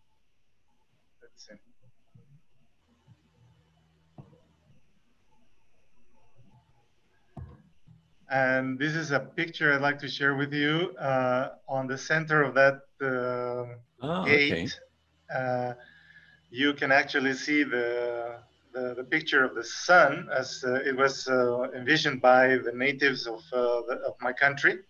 Yep. Inti is the creator of everything, and that's why the, the position is in the middle of the, of the gate. This is called actually the sun gate and on this day uh, exactly the sun will come out uh, and you know uh, will go directly through that uh, door that you see the gate that you see. Ah because it was solstice uh, the winter just, uh, solstice. about 10 hours ago. Um, exactly. so yeah okay brilliant. And so people go there of course not this year because of social distancing but people go there by thousands and they receive the first uh, uh, rays of the sun on this day. And I just wanted to share that with everybody. Um, it's uh, part of the South American culture, and I hope you liked it. Thank, you, absolutely, Milton, and that's exactly you know what what we really want these star parties to be. You know, for for, for you lot to come in as as well um, and and share stuff like that. I mean, that was um, that there's a, whole number of uh, monuments. Uh, can give me a thumbs up if you can see the, the live feed again. Yeah. Um, there are a whole stack of uh, monuments around the globe um, which have these solar alignments. There's the tomb, I think, in Ireland, uh, where it's a, a, a large dome, earth covered tomb, but there's a very narrow stone lined um, tunnel uh, into it, into a small chamber inside. and I, I, I suspect it's on a solstice rather than an equinox, but on the morning, the sunshine beams straight the way down the tunnel. Then just down the road for me in Wiltshire, in the southwest of England, we've got Stonehenge, um, all sorts of astronomical alignments, but mainly they were measuring uh, the solstice and the equinox because that was what really drove them, you know, to start a season of planting. Um, you know, so just a, just a reminder, you know, this might be ring of fire annular eclipse, but quite rarely for uh, some people in some time zones, certainly you lot over in the USA, it's this eclipse has occurred on the day of solstice, which was actually Saturday the, the 20th. Um, it was 09 UTC, no, sorry, 21 UTC, something like that, about 10 hours ago. So this is where this is, a lot of people call it summer solstice, but that's kind of uh, a bit rude. I, as you heard from, from Milton there, you know, down in Bolivia and South America, it's the winter solstice. So it is, it's far better to call this the June solstice, but it's basically when Earth's northern hemisphere is tilted most towards the sun. Now, Andrew Dumbleton, Slooh's ops manager, and myself, when we're operating the Canary 5 solar telescope, uh, we notice this because our clamshell domes, they open on one side and then the other. And the way I installed it, the you got one set of shutters on the north, one set of shutters on the south. At the moment, we only have to open the north shutters a little bit um, we reach equinox and we have to open both shutters a little bit. And then when we hit uh, December, sorry, and September, then we only have to open the the south shutters. So we notice these little changes, you know, and as the weeks progress, we have to open it. It, it opens in kind of notches, um, and we have to add a notch on a particular day and a, a certain time of day. Sometimes if we're not keeping an absolute close eye on it, you might notice that uh, the stream goes black. That's when we haven't opened it quite enough when it's kind of setting or anything like that. But uh, Andrew did bring um, the Canary 5 solar telescope online yesterday uh, as a little special bonus. We don't normally operate it at the weekends, uh, but so we could see that, see the sun um, on June solstice. Um, so summer, summer solstice in the northern hemisphere, winter solstice uh, in the sun. And, you know, you might think, well, hold on a second, the longest day, how can summer just be beginning on the longest day? Well, don't forget that astronomical seasons are different to meteorological seasons. So meteorological um, summer started at the beginning of the month um, because they, meteorologists like to work in whole months, all right? This is one of the reasons why meteorological seasons are always start at the end and beginning of a month. And they base it on um, average temperatures. So that's what they base it on. Um, but in astronomy, the date for um, June solstice can actually change from, I think it's the 20th to 22nd, or it may be slightly longer than that. Um, so it, it, changes depending on what year it is. We've, I think we've had two lots of the 20th of June and maybe another 20th June next year. Um, but it does, it does flex. But anyway, listen, let's get back to what we have up on our screens at the moment. I think this is an absolutely glorious view. This is from uh, Ahmed Al Wardat, who is a professor of astrophysics at the University of Sharjah. They actually run the planetarium there. Now, if you ever are fortunate enough um, to travel travel to United Arab Emirates, make sure you go to the Emirate of Sharjah, uh, where this is, and they have got one of the most extraordinary planetariums uh, you have ever seen. Um, it cost an absolute arm and a leg.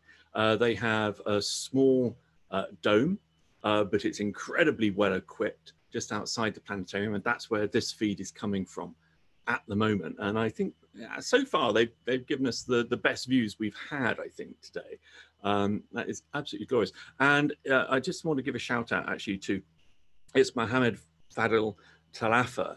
Uh, who's the guy who's operating this for us today. Uh, now we have had other feeds. We've had the, uh, let's just hop over actually to the Dubai Astronomy Group. Um, wow, look at that. They've got uh, five of their members feeds. So the Dubai Astronomy Group is probably one of the most established uh, groups of amateur astronomers, and to call them amateur, I mean, it's just doesn't do them justice. Um, it, they they do outreach across the entire region, um, but they travel out into the desert. You know, the the, the first um, spotting. In fact, the next couple of days is going to be really, really important. Uh, obviously, in uh, in the Muslim world, because the new moon or the sighting of the new moon is what starts the next calendar month for them. So one of the things that I've often wondered is, and, I, and I've asked this of some of the guys at the Dubai Astronomy Group, can does that observation of the new moon, the, the new waxing crescent moon, have to be visual with eyes, or can it be uh, using optical aids? And this actually changed a couple of years ago um, when uh, they they actually made a proclamation that it could be a sighting through um, telescopes. And one of the things I've often wondered, I should have asked them before the show, we are seeing the new moon now. We're, we're seeing the youngest new moon that it's ever possible to see when it's silhouetted during a solar eclipse of any kind. Now, I suspect that this is not classed as that sighting, but maybe we've got uh, got a, a, a member who's in the in the Zoom webinar who who knows anything about that. But it would be interesting. But anyway, uh, over the next few days, they're going to be out in the desert making these sightings of the incredibly young moon, and then that gets the go ahead and the official thumbs up. Say, okay, it's the start of the next um, calendar month in the Muslim calendar. Um, so, but these are absolutely cracking feeds. Now, these are all live, of course. So, what we're seeing is some of them uh, so the middle one at the top, uh, Baya, Bala, looks like, um, is it looks like it's covering more of the sun. Actually, the one down in the bottom left, I won't even try and pronounce that one, but you can see it's still kind of covering about half the sun. One down on the bottom right, though, uh, it's you know the moon is edging away to the side. So if we go back to what we were talking about right at the beginning, we can we can almost locate these visually to how close they are to that path of annularity. Um, and we know that the one down in the bottom right is further away. Where is it? Salalah. That's a cool name, isn't it? And we know that uh, the one in bottom left, we know that that's closer to the path of annularity because they get a deeper eclipse. It can also be along the line as well, of course. So um, they could be further east and west, and that's going to affect that. Now, I have had some word. Uh, I don't, don't, know if Andrew's around at the moment, but I have had word that Sirsa in India is suffering from clouds, um, partial clouds. Now, we are keeping a very close eye uh, on the feed that we were expecting from there. It'll be a, an awful shame. Oh, we... sorry, sorry yes. to disturb, but now this Dubai Astronomy Group feed comes from this India. Which one? Channel. Sorry, which one? So we lost now the India transmission. So did did you say that did you say that the Dubai Astronomy Group are using an Indian feed? Yeah. Which one? Do you know? Or or on on the Slooh page. Ah, right. So okay. Dubai comes from one.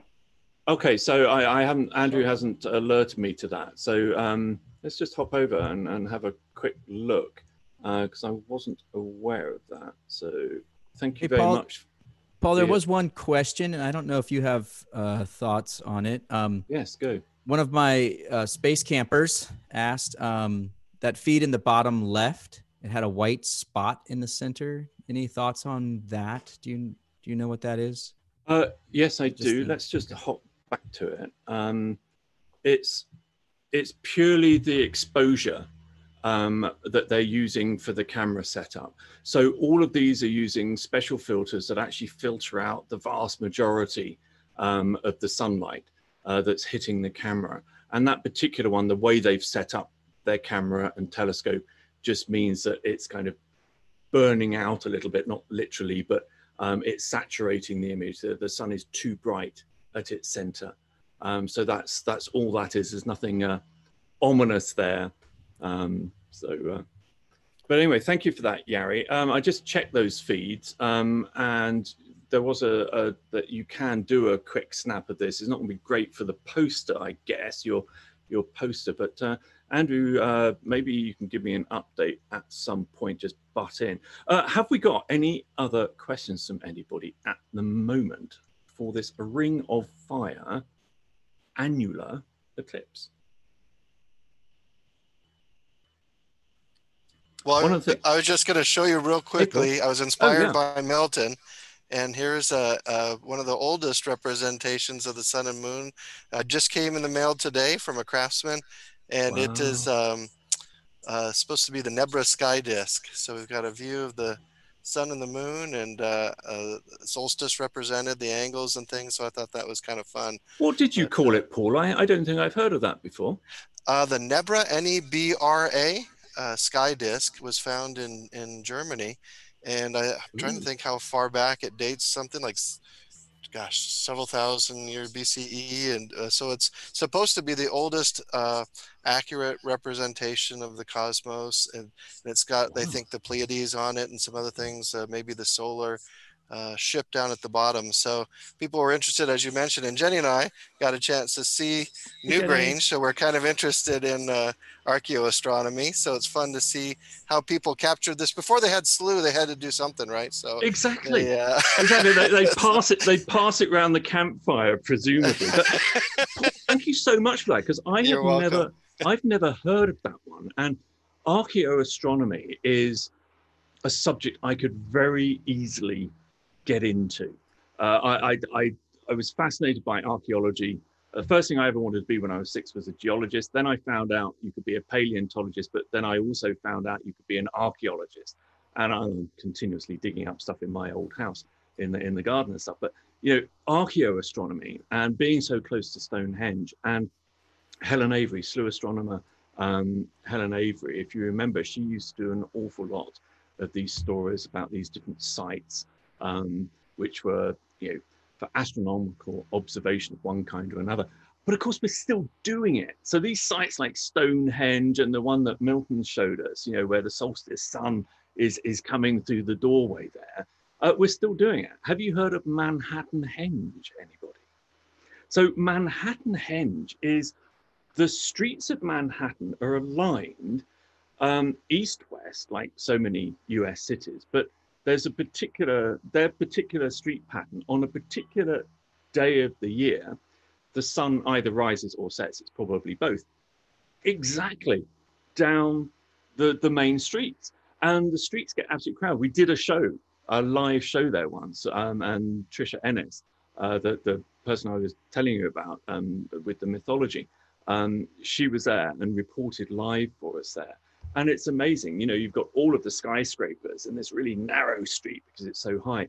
And then this glorious sunrise. I think it was sunset actually. But anyway, so it's Manhattan Henge. And there are other um, city henges around as well. Now, listen, we've got a live feed up here. Um, Hanle, now maybe uh, maybe somebody can can look up where Hanle is because I've got a sneaking suspicion that the Dubai Astronomy Group um, maybe grabbing some feeds from some of their partners in India as well. I've just been looking and our India feed is still uh, clouded out in Sirsa. They're kind of getting little glimpses of it. Um, but this is this this has to be right. So we know this um, has to be further west because so much of the sun was covered there. So I don't know if anybody's had a quick look to see where Hanle was um, Al Astronomy Center. So I think that's in the Middle East. Anybody look up Hanle? God, you lot hopeless. I've got to do everything myself. The title in the feed says India. It does, does it? Mm-hmm. I, yeah, I, no, that's no, that's on that's on our webpage. So um, that that just hasn't been changed. Andrew hasn't changed that. Um, so don't be um, don't be led astray uh, on that one. Um, uh, Divya's here. Divya, you don't happen to know, do you, if Hanle is um, in India? Yes. It is? Yeah. Oh, excellent. Okay. So uh, uh, Divya, by the way, is um, the, the leader of the Slooh Ambassador Program. And Divya, you're going to be telling us a little bit more about that uh, a bit later on, aren't you, in the show? Yeah. Maybe 15, 20 minutes time, something like that. So uh, I think it is time we did a little recap. While you lot are getting your questions together, otherwise you leave me hanging, um, I'm just going to change the feed over to this because I think this is absolutely glorious. Look at that, we're getting the glow around it as well. Sun rising there in the Middle East as, as, as the, the eclipse progresses. Uh, but I want you lot to get some questions together while I just do a little bit of a recap uh, of where we are. So this is uh, a Slooh live star party for members, you lot. Uh, but we're also um, out um, to YouTube and um, you know all that interweb stuff. You know, it's, it's 7:30 a.m. here. Come on, it's an excuse. You know, Twitter and Facebook and that kind of thing. Um, so we're out live on those as well. And this is an annular ring of fire eclipse. So ring of fire because the moon doesn't quite cover the entire solar disk. So we land up seeing this annulus around it. Um, there's a, lot of um, mis um, mistranslations that as well. Annulus just means ring shaped. Um, that, that was the original Latin, but apparently it was um, the in medieval times they added an N and stuff like that and, and misinterpreted the translation. Um, but anyway, what we've been seeing so far, we did see a couple of rings of fire, but that was uh, very, very briefly from the Dubai Astronomy Group feed. This feed, though, I think has actually been my favorite. So this is from our partners, the Sharjah Academy for Astronomy, Space Science and Technology. And listen, if, if you do get to the Middle East, uh, you really need to go there. I've never seen a facility like it in my life. And they're our partners down there, and we're going to be putting in a new observatory uh, down there in the not too distant future. The pandemic has put us a little bit behind. But uh, just, um, just keep an eye on, on this feed because if you look carefully, we've got quite a little bit of kind of scintillation because of the atmosphere and it's heating up there, obviously, during the day. Um, but if you do look closely on this, I bet you a pound to a penny, some of the little bumps and ridges that we're actually seeing on the moon silhouette, on the moon shadow, um, are actually mountains, crater edges, valleys, and things like that. And that's what uh, you can what can call Baily's beads when the sunlight just ripples through that. And if if we can, if we'll stick with this feed um, and, until it just until it's called fourth contact, basically when the moon uh, leaves the sun, we might just see some of those Baily's beads just as it leaves. It's easier to see it when it's um, ingressing, but we may just see a, a, few of those, so we're keeping an eye on that. Uh, actually, while Andrew's uh, there, uh, Andrew, you're doing a sterling job there. I know you're kind of juggling, you know, different feeds into different slots and things like that. But have you got any news on uh, India? No, I can just see in the chat um, nobody had managed to watch it through that particular feed that we had. Um, yeah. They were sharing other feeds uh, in that chat, um, but it still hadn't started. But I'm just about to check again. Okay, thank you very much. Um, I, I, think you know they are suffering from a bit of cloud there. The one feed that I did see on one of their news channels was uh, incredibly blurry. But uh, right, so um, shall we have? Unless anybody's got any questions, shall I take you through our first moment quest? Anybody got any questions? I'll give you ten seconds. Right, ten seconds of silence.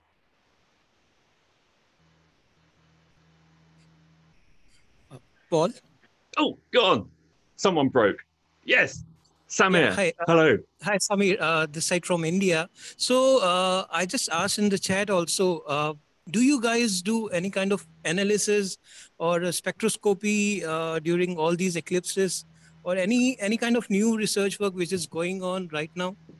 Not at not at the moment, and not for this eclipse, but all of the uh, Slooh expeditions that I've been on um, with mm. our partners in the Canary Islands, the Institute of Astrophysics of the Canary Islands, we take loads of experiments on those trips. So we do a lot of environmental uh, monitoring uh, around the, the area and outside of the path of totality.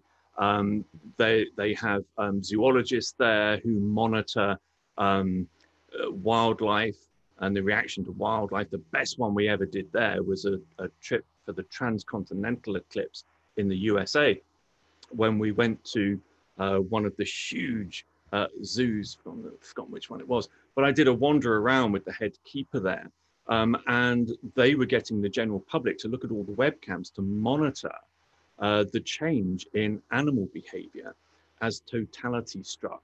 Uh, but we don't do any spectroscopy. And I'm not sure if, if, if anybody does really during solar eclipses. I mean, the total solar eclipses, if, if you remember, was, uh, you know, were the only opportunity uh, before we had, you know, fancy telescopes or um, uh, space telescopes where we could see uh, the, the sun's corona, which is its outer atmosphere, its crown that goes all the way around it. A total solar eclipse used to be the only time when scientists could actually observe that. So these fleeting moments, you know, between a few seconds and a couple of minutes of totality for these eclipses, what used to be incredibly important scientifically. Um, but no, we don't do um, any spectroscopy on this uh, at all, and certainly not when we're actually present. But there's an awful lot of science when we go on our eclipse expeditions okay. with the EAC. So, uh, uh, apart from Eclipse, so do you guys are planning to add on any quest uh, related to spectrum analysis? I mean, via uh, remote telescopes? There's there's the possibility. We've been discussing it for a time. The first ones that we'd probably land up doing are, are some photometry quests, um, but because of the setup of our uh, telescopes, uh, we they're unmanned, so we can't unless we had a specific telescope which had a spectrograph on it, and it was on it all the time. We can't switch out instruments on a night-to-night basis. Uh, there are some special filters that you can use and diffraction gratings and things like that, uh, which we are looking at, certainly for some student quests um, in that field. So so watch this space, I think, is the uh, that's a good catchphrase, isn't it, for Slooh? Yeah. Watch this space. Sure. Uh, watch this space. Uh, but uh, yeah, we've we've had a lot of feedback, and I know Russ has had a bit of feedback on this as well from some of the college colleges that are signing up for Slooh. So thank you, Samir. Okay. Yeah, thank you. Thanks a lot. Uh, anybody else got any questions at all? Hey, Paul. Good morning, everyone. Is that Tiago or Thiago? Tiago. Tiago. Sorry, I, the third one. I, I knew I'd get it wrong. I'm from Brazil. It's a pleasure uh, talk to you and everyone. And I I don't speak English very well, but I try I try to talk something. But it's better first, than my Portuguese. Portuguese? Is that what you say? No, I'm saying your English is better than my Portuguese. Ah, okay. so first of all, I would like to congratulations for uh, for this stream uh, and, and congratulations to all slow team. It's a pleasure to join uh, with you. And so I'm very excited to learn uh, astronomy uh, in this platform mm. like slow. So thanks so much for your team. Welcome. Thank you. Um, and you know, how long have you been a member? A few months. Okay. Three so months. You, you're doing exactly the right thing because so many people join Slooh and they they're afraid to kind of put their head above the parapet. They're afraid to kind of come on here and talk or ask questions in the clubs or anything like that. And some of the feedback that I've had over the years have been people who have been there for three months and said, I wish I'd just asked those questions. And somebody even apologized yesterday when they were in one of the clubs and they asked a question that they thought was really basic, but it doesn't matter. Every single one of us, when we first started out learning astronomy, had those really, really basic questions. But the thing I most love about the Slooh community, and I do bang on about it because it is so different to everywhere else, every other community I've ever seen on the internet, you know, has got the trolls and stuff like that. The Slooh community has never had that because all of us, I think, remember how daunting it was when we first started, you know, learning about astronomy. And it's just such this massive subject that it looks impenetrable. But I always say, one step at a time, one question at a time. And before you know it, within a couple of months, the things that you thought were really, really difficult a couple of months ago, you're actually teaching the next new member. You know, uh, so there's never a basic question, and certainly nobody ever has to apologize for asking a question that maybe was asked before. You know, because frankly, I don't know about you lot, but if I see the same question answered several times, it's usually in a slightly different way, sometimes by slightly different people. And that actually just expands and kind of consolidates my understanding you know of whatever was being asked to start off with. So i really urge everybody you know dive in. You know there's a Slooh club there. For absolutely everything go over to the ptolemy club uh, which is the new to Slooh club. So if you've got questions if you are new to Slooh today and you've got questions about you know, how to use it because there's a lot of places to go on the Slooh website you know we've got a, some lovely developments coming up which can make that a lot easier um, but uh, you know, there's a lot of places to go, so don't be afraid to ask questions. Uh, if you hit a technical snag, you know, um, then just email support at slooh.com and we'll help you out there. All this chat as well, but actually, if you've got a question, it's probably easier to ask it in a club, just in case it gets lost in chat. Because if you're up late and somebody else isn't around to answer it, stuff. So, anyway, any other questions at the moment? Otherwise, we will take a quick look at the quest. This, I'm sorry, I've got to I've got something to do in the meantime. Uh, follow along if you want. Oh, uh, yes. Yeah, I want to talk some, one more thing. And yes. do you know Sobral, a city in Brazil? No, I don't. So can you can you spell I, I it? Like to share, I would like to share you. Uh, a fact. Uh, sometimes it is unknown for the people about the eclipse in 1919 mm. that they compose the relativity general theory of yes. Einstein. So I, I here, I think uh, poster. Uh, I don't know if you. Yeah, we can see it. Yeah.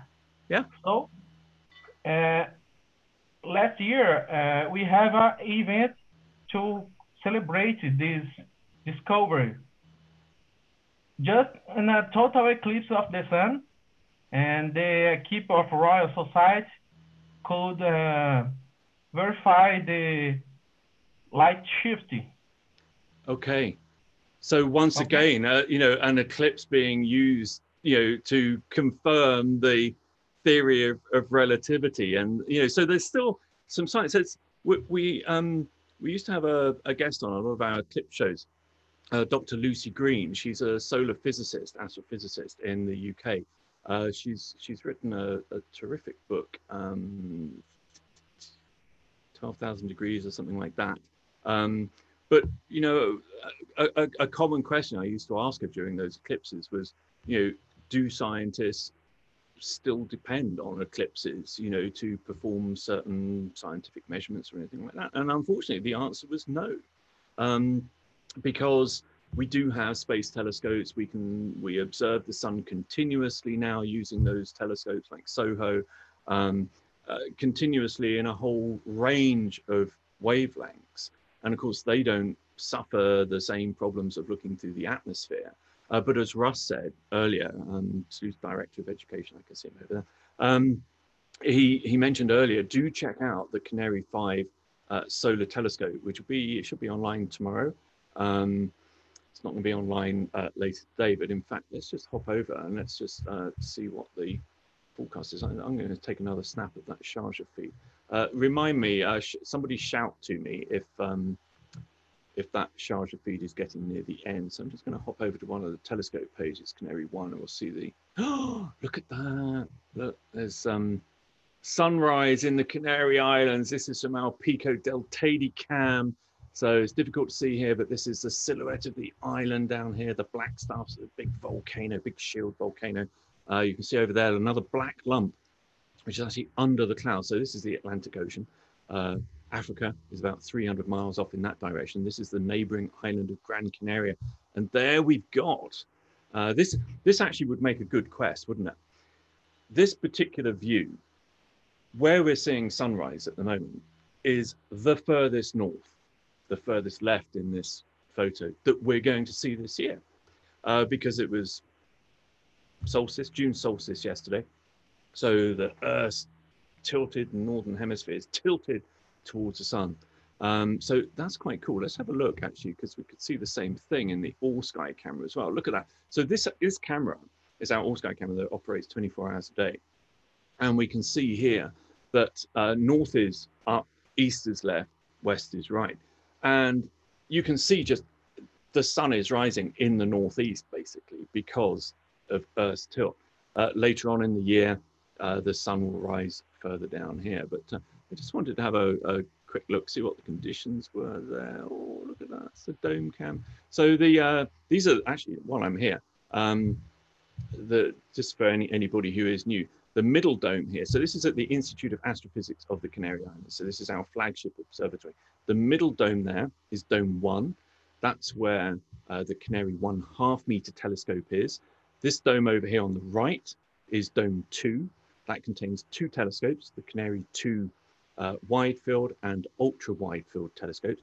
And the dome very close to us here, that's dome three, um, and that contains the Canary 4 solar system telescope, the Canary 3 deep sky telescope, which is nighttime telescopes, but it also contains the Canary 5 solar telescope, which is this telescope that looks at the sun during the day uh, in a wavelength called H alpha, hydrogen alpha. Uh, and it gives us superb views of solar features and prominences coming off the side and stuff like that. So that's quite cool. Uh, do look at, uh, do check out the time lapses on these because they do, uh, they do look pretty cool. So that's probably yesterday morning. So it'll probably go dark in a second. That's yesterday morning. Let's see sunrise this morning. That was yesterday when the dome was open. And you open the dome and it gets to sunset and then it should click into this morning's sunrise. So then it's going to go dark last night. Oh, domes open. That was cool, wasn't it? Did you see that? All the domes opening. And then sunrise this morning. Look at that. So, oh, looks like we've got some insect life in the um, in the camera. Interesting. Uh, right. Any other questions, folks? And I'll otherwise I'll go through the quest quickly. Uh, Russ, uh, are you gonna come in and do anything for us? I mean, uh, you know, when I, I, I feel like um, it's it's always so important when we whenever we take a look at the sun, and I I think about it with um, my students, whether they're astronomy students or environmental science students, um, or really just any student. Um, it's I think it's so crucial that people have a nice general understanding of you know the processes that are going on in the sun you know so and I, I don't know if anyone no one's really asked the question um but i think it'd be fun to talk a little bit about the you know the nuclear processes that are that are happening um i think that's always good for you know if i had some students on here and i bet there are some students out there who are watching who and and and people you know have maybe some misunderstandings. Uh, it's one of the things that we do misunderstand about our our star. You know that this is a, a huge fusion reactor. You know, um, the sun's composed, you know, primarily of hydrogen. Um, you know, about ninety percent hydrogen, um, ten percent uh, helium, um, and in the in the core of the sun we have fusion occurring. You know, where uh, those hydrogen, those protons, those hydrogen uh, ions are are being fused into helium, and you know at the same time they're releasing some energy. So you know everybody's really everyone's familiar with, and we talked a little bit about Einstein earlier um, and how important uh, eclipses were to his work um, and confirming um, the theory of relativity, but you know really looking at that mass energy equivalence, that E equals mc squared equation. You know, we see it whenever you see a, a cartoon or a, TV show or you know Saved by the Bell or something like that. There's always E equals MC squared written somewhere on the chalkboard in the back, and you know. But I I think that uh, you know it's it's good for people to to know what that really means. You know, it's really looking at the fact that mass and energy um, are equivalent. You know, there's an equivalence here. So um, you know when the energy that that you know at, when we look at the sun and we see that energy coming out and you know our our planet intercepts a tiny bit of that well um, you know that's actually stuff from the sun that's being converted into energy and then thrown into space. So our our our star loses a little bit of little bit of mass all the time. Um, you know i think that's and i think that's when i learned that uh, it kind of blew me away. Um, I, and the figures are astonishing, aren't they, Russ? You know, the amount of mass that the sun is losing every second. You know, you you start to think, how how on earth can it still be there? You know, if it's losing that much, you know, of it of its mass, you know, every second. Yeah, and that is so important. I think to to start thinking about just how well massive this thing is right? Like how it's so big you know and i wish i had my basketball and my sesame seed. What was i thinking? There I, I, could go i could go get them but um you know if you've got a basketball uh, and you've got a sesame seed well you've got a, a relatively uh, decent sun earth scale model. Mm-hmm. so go get your sesame seed go get your basketball and and that's that's the earth compared to the sun. It gives you an idea of how just how you know how large the sun is and yeah it's losing it's losing mass all the time. Um you know in that in that conversion from uh you know from uh hydro- hydrogen to helium you know there's a, if you look at the if we look at the atomic weights right there's a little bit of difference there and that's that's the stuff that's converted into energy and thrown out into space and you know our planet our planet so small compared to the sun intercepts just a a tiny little bit of that. Um, and that's what provides all, you know, uh, all, well, not all the energy. There's obviously some energy in the hydrothermal vents um, at the bottom of the ocean, right? Those are um, from radioactive decay in our planet's in and the planet's interior. But, you know, all the life at the surface, you know, we all depend on that tiny slice of, uh, of energy that we energy, get yeah. from the sun, you know? I mean, it's a lot for us. It's a tiny slice compared to what the sun is constantly throwing out into space. And, um, you know, so anyway, that's. Yeah, Russ, you know, you mentioned, you know, how massive the sun is. And, you know, it is by on a, on a human scale. But uh, anybody who's interested in learning a little bit more about what Russ was saying there, check out John's new uh, Life and Death of Stars quest uh, because that will take you on a journey to some supergiant stars, which make our sun look an insignificant pinhead, you know, in the in the in the galaxy. Um, these supermassive stars, over 30 times the mass of our sun, um, and, and that that whole quest is talking about a sun's initial mass governs how long it's going to live.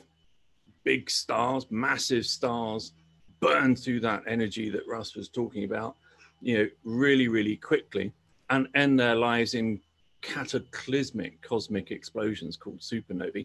Our sun actually is considered to be a dwarf star, would you believe? You know, and it's pretty small. It's uh, very stable. And that's really good for life on Earth because you wouldn't want to be living next to one of those ones that are a little bit more volatile. But as we look at our sun now here, you know, it, it, it doesn't vary that much. We see some sunspots, we see some flares. We occasionally see a mass coronal ejection, which is probably about the biggest burp our sun can do. Um, and if it happens to be uh, pointing towards Earth, then it can affect our satellites, our communications, our electrical systems, and stuff like that. Um, there was a big event um, in the last century uh, called the Carrington event.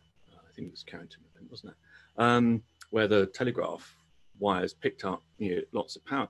But our sun is going to live a long time.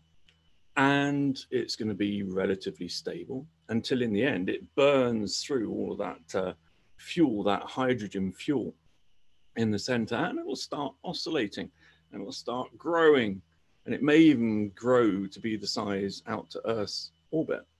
I think the latest predictions are that it might not quite get there, but you certainly would get a bit sunburned uh, if you happen to be out on that particular day. We've got about four and a half billion years before all of this happens. But then our sun is going to end its life in what I think are, are some of the most extraordinary group of objects that we see in the nighttime telescopes, planetary nebulae. And I think they're extraordinary because their colors are so defined and rich and varied. Their shapes and apparent size in the telescopes vary tremendously. So we've got the Ring Nebula, that's probably the, the, the, the most well known, but we've got the Dumbbell Nebula, the Helix Nebula, we've got the Bug Nebula. Now, all of these things are from sun like stars at the end of their life who kind of puff off their outer atmospheres. And some of them we see as a ring, like the Ring Nebula and the Dumbbell Nebula. But others, like the Bug Nebula, the Ant Nebula, we see them as a, a sideways hourglass. But what we now know is that all we're seeing is the same kind of shape, but from two different orientations. So the Ring Nebula, oh, did you just see that bird fly across the sun then? Everybody see that? Go keep your eyes on that live feed. Hope you snapped a picture of that. So the Ring Nebula, we're seeing that kind of hourglass from the end. So we're seeing it as a circle. But some of the other planetary nebulae we're seeing from the side. Um, but anyway, have a look at the life and death. Uh, it's, it's, quite a long quest, uh, but you get a bundle of gravity points for it. But I learned such a lot um, from from doing that quest. Russ, have you had the chance to to do that yet? Oh, I've just started it, but it okay. is fantastic. It's fantastic. It it's, and it's I, I, I think I think all I mean the quests are are are excellent uh, as an educational tool. You know whether you are uh, attacking this uh, solo or whether you're working with a classroom. Um, these quests are so valuable. They they walk you step by step. They tell you what to do next, but they don't tell you everything. And you have to. So there's there's a really great uh, amount of thinking that that goes into the quests uh, from the uh, person going through the quest. Um, but there's also enough guidance that that you know you can tackle it with maybe you know even a young person can tackle it with with maybe some some minimal help. Um, so I think that's what's wonderful about these. Um, you know, like a quest like the life and death of stars. You know, that's that's certainly aimed at our uh, our you know our older audience, older high school, college, um, you know, adult audience. But um, so I'm allowed to do that, am I, as a as a as an old person? I I was never I was never saying anything about anyone being old. I was that was not my intention. but yes, you can do yeah. that one. Um, Thank you um, very much. So, actually, yes, I, young, I, young people are not allowed to do this one. So no. exactly, yeah, we're, we're going to start putting an age limit on which question. No, I guess you know, but I think that's that's one thing that's really interesting is that you know, uh, a young kid, a young a middle schooler who's really motivated can still dig into that quest and get a lot out of it. Um. The quest really hit you wherever you are in your own uh, learning pr- process, um, which I think is so amazing about them. Um, and the, uh, the and, thing I uh, like about astronomy generally, though, Russ, is you know it's. Um, sorry, I'm just going to snap an image of this because um, that's beautiful. Um, sorry, I get I diverted, don't I? Um, you know, astronomy education is there's it's such a, a, a deep subject that everybody starts off at the same point. And what I found, certainly when I've mixed with other amateur astronomers, is a lot of us start from exactly the same level as some of your classrooms who are doing the online space camp do you know, we're, we're still learning about those basics. We're learning about the celestial sphere and the way the sky changes over the seasons. And we're learning about different object types and different domains, the solar system, the Milky Way, deep space, you know, and that's what we're trying to piece together. We're trying to piece together this big narrative, this big story in our quest that will take people, you know, from the Earth to the Sun to the Moon outward through the planets. And in fact, uh, we're working on a quest at the moment, which is all about celestial mechanics. So anybody who's interested in uh, Kepler's laws and stuff like that, planetary motion, um, that is going to be a really, really cool quest. I've got this one on Cepheid variables that I'm doing. We've also got, uh, Russ, this was one that um, came from feedback from some of the teachers and students you're talking to. We've got In the Footsteps of Galileo Galilei, uh, where uh, we've set up a, a new object type. Uh, I don't know if everybody spotted that, but there's a new mission for the uh, Canary 3 deep sky system, which is called the Galilean satellites. And it's, it's designed to give you the same kind of view uh, of the satellites and Jupiter um, as Galileo had through his telescope. And students in that quest are going to replicate what Galileo did, monitor the position of those moons over successive nights to work out their orbit. And of course, there's the huge story of, you know, how those observations basically overturned, you know, the Earth-centric view of the universe that we had back then. So, uh, uh, but I do notice that Cameron's in the house. Cameron McEwing. Uh, uh hi, Cameron. Nice to see you. Cameron actually uh, did uh, one of our other quests that has been very popular, the mystery of the island universes. So, Cameron, how are you? Like I'm well. Jolly good. Yeah. New Zealand. What what time is it down in New Zealand at the moment? About nine in the evening. Uh, seven in the evening here. Seven in the year. I, I knew it had to be one way or the other. So uh, we have got a real global um, reach tonight, haven't we? We've got India, we've got the USA, we've got the UK, Europe, um, we've got South America, we had Brazil, uh, India.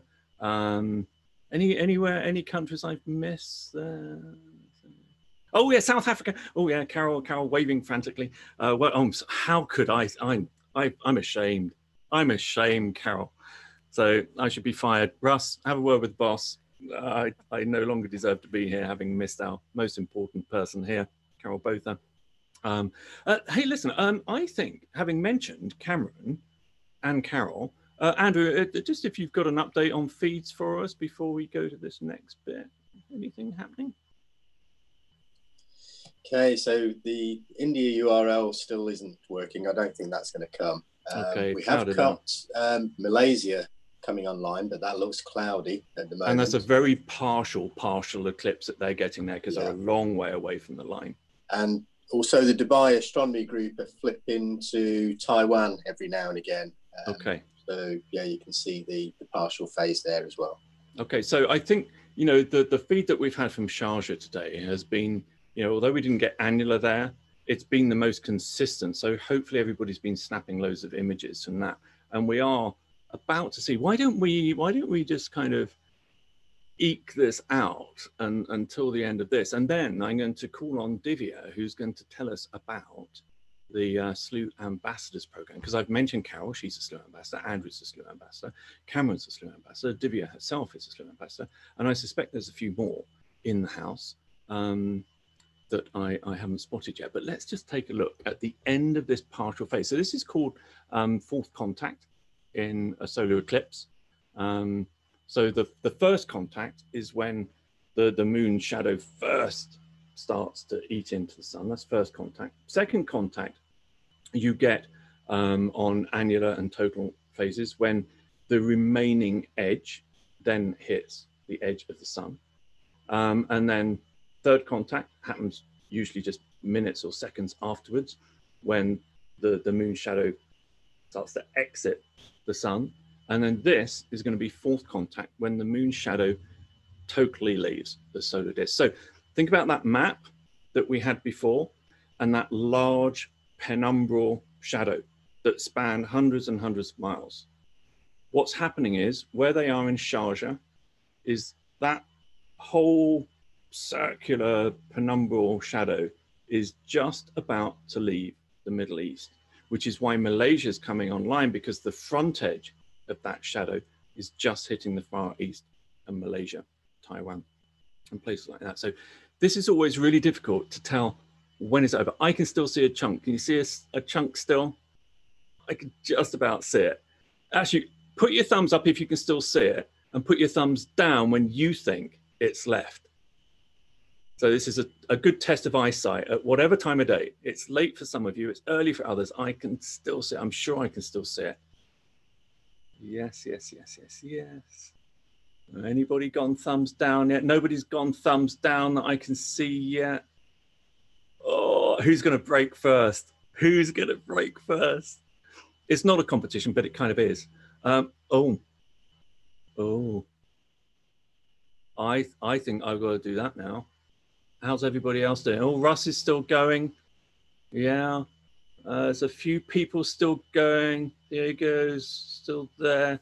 Divya's still thumbs up. I can't see any. Oh, now Russ is gone. He's finally given way. Who's going to be the, the last person standing? Stan is there. Yar is there still. Uh, you're sitting. Oh, Carol still thinks she can see a little chunk of it taken out. Yeah, yes. Wow. What I love about these views now is we know the moon is still there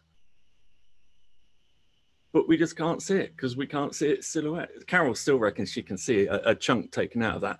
I am going to defer to Carol because Carol is one of the best visual observers ever. She spent a long time um, learning her skills of observation, but Carol still reckons she can see. I can't see anything there, Carol. There's a there's a slight difference in the. Oh no! the- now she's the- gone. Yeah, the Slooh, the Zoom feed and the Slooh show feed. So. Oh, really? Is there? Yeah. so, So that depends on which one you're looking. at. which one you're looking at okay so that that was that was based on the people in the uh, in the webinar so all the Slooh members Um, are in the zoom I come in webinar here, yeah go on carol hi Um, I, I've actually been watching it on a big wide screen.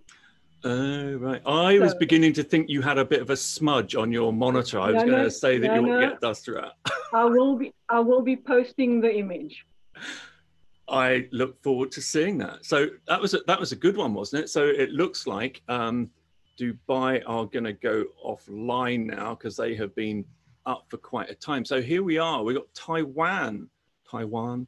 Um, you say tomato, I say tomato. Uh, quarter past three in the afternoon local time there.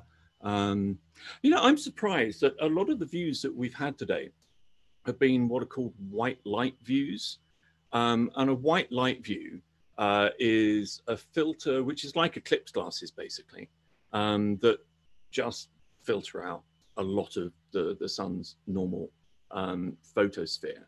Um, but I'm surprised we haven't seen more uh, feeds coming in using H alpha, you know, like the Slooh Solar Telescope, because those can give some terrific views, you know, of partial eclipses. Now, if anybody is watching in Taiwan or India, where the eclipse is still taking place, there's an awful lot of stuff that happens during eclipse when you're watching it yourself live in the sky with safe glasses and stuff like that. I've often said some of the best stuff in those partial phases actually happens behind you, not in front of you. So, Divya, I don't know if you can see it. You can tell us uh, in, in a couple of minutes' time. But anybody who's there, look behind you and look down at your own shadow. And what you'll notice is your own shadow is not as crisp as it usually is. You know, usually you get this really well-defined shadow. But also, try and get close to a tree where you know all the leaves are casting a shadow down. And what you'll see is every single leaf shadow is in the form of a little arc. It's absolutely beautiful. If you can't get a tree, then use something artificial. Um, a colander, you know, one of the, I don't know if everybody calls those the same thing, you know, a sieve, you know, for sieving vegetables, got lots of small kind of holes in a few millimeters wide. Get something like that, or there's some bats with holes in. Anything with a group of holes in, hold that up, look down at the shadow that's being cast, and every single hole will be projecting a little crescent sun. It's the most, I think, one of the most extraordinary sights during the partial phases of an eclipse. But most people are so focused on looking at the sun that they miss all of that interesting stuff behind. You can also get on certain eclipses eclipse bands where you see on a white wall or something like this these huge kind of interference uh, lines and bands dark bands going down so if you're lucky enough to be anywhere where you're seeing that partial eclipse at the moment, then look behind you every now and again because there might be some interesting stuff going there. Um, Hal, you've got a hand up. Did you want to say anything? Uh, I'm not sure. No, he's good. Uh, Divya, we have talked several times. Oh, look at that. That's through the cloud. You can just see. You can just see there's uh, the moon shape on the right hand side. So a lot of people in the Far East and India are dealing with clouds at the moment. Divya, we've spoken about the Slooh Ambassador program. Now you run uh, that program at Slooh. Can you tell us, well, first of all, I want to hear, have you managed to see the eclipse at all um, in India? I don't know. I, I, think the whole of India certainly can see a partial eclipse, but I don't know if you're cloudy. But then could you tell us a little bit about what the Slooh ambassadors are, what they do, and how they can get involved, how anybody else can get involved? Uh, sure, Paul and um, you know uh, unfortunately i haven't stepped out to oh. witness the solar eclipse but i enjoyed watching solar eclipse in uh, Slooh obviously so i'm uh, glued up to the telescope page actually and um, you know so it's it's very interesting. And that's why uh, Slooh always like you know uh, the one that i depend on when such shows happens. I'll be always uh, having my eyes on the shows page in Slooh. So uh, you know uh, so that, that's that's very interesting. And i'm glad that i've taken a lot of pictures already. Good. And uh, regarding the Space Amb- Ambassadors Program, Yes. I think it's a wonderful initiative of 2020. And at this period of time, everybody is very dependent on social media. And um, I think uh, it's a great opportunity for everyone out there who are very interested in space exploration to have um, this kind of an um, you know volunteer positions to take up. So uh, Slooh space ambassadors or uh, volunteers and Slooh frontline representatives uh, wish to educate uh, the Slooh members or the general public about the importance of uh, Slooh space exploration, thereby building the community. Okay. So um, they are basically community leaders and uh, digital influencers, I would say, uh, of Slooh working together from different parts of the country. There is, uh, you know, a great opportunity for all the representatives from all the countries. And um, guess what? We don't have age limits, and uh, any any country or like you know anybody who just have interest in space, passion in space, and who are Slooh members can abs- absolutely apply for uh, becoming an ambassador. And you actively want people from, you know, a, a large variety of regions and countries, don't you?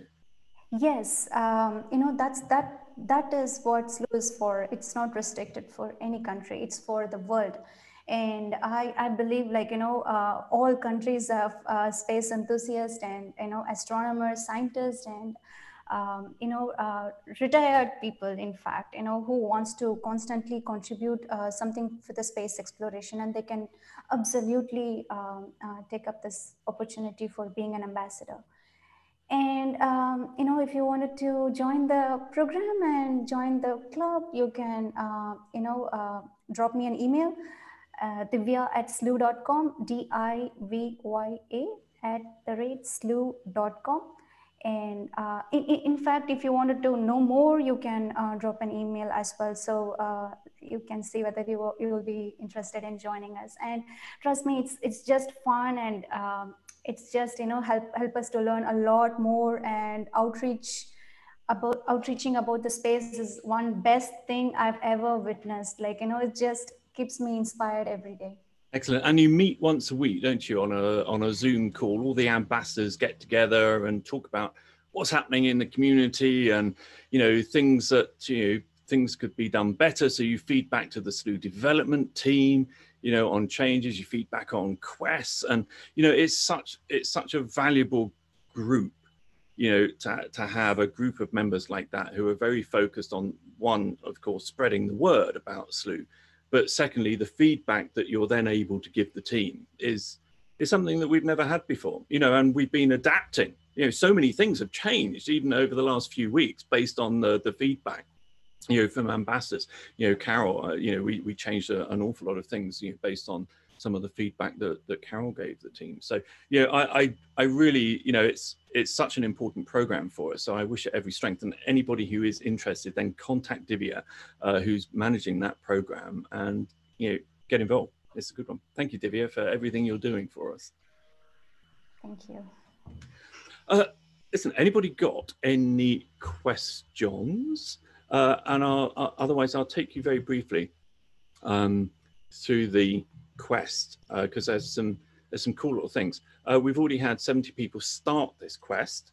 Uh, we've had six people finish it. A bit premature, I think. A bit premature. You didn't know if you were going to get that final image, did you? No, see, always wait because as soon as you press that claim badge button, you can't change the quest. So, uh, shall I tell you a little bit about what we've done here? I told you right at the beginning, but I'll give you a better explanation now. This is just kind of pictorial um, uh, reference. So, what these numbers on the quest do, each one of these is an image slot. So, this is in, in all of our quests, we have what's called the data collection step. And this is it. So in here, it's telling me I've uh, already loaded, collected three of 41 images. But there's an important little thing here on this particular quest. It says there's a minimum of one needed.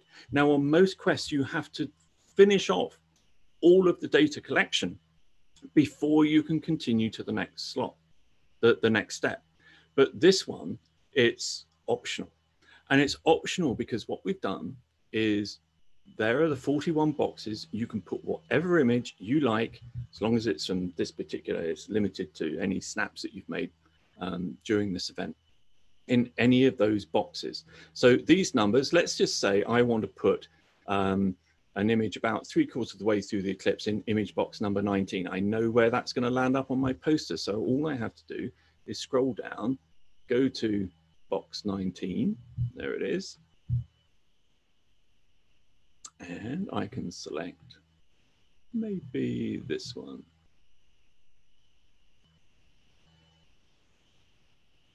Talk amongst yourselves while the little circle goes around. These are high def images, so uh, it's it's pretty good on this poster. It's going to be pretty good. So it doesn't show up on here because this is just you know it's just a, a, a blank representation of the poster. But if we then go to the next step, we can see our poster and what it's looking like so far. Looking pretty cool, if I say so myself, given I've been doing this on the side as a kind of side thing today, but I think that's looking pretty good. But you can see what we're getting at. You can lay this thing out in any way you like. Um, now, there's a little tip here, um, a Coxie tip. Uh, you, you know you can download the full resolution version of your poster at any time. You don't have to finish, you don't have to claim your badge before you can download.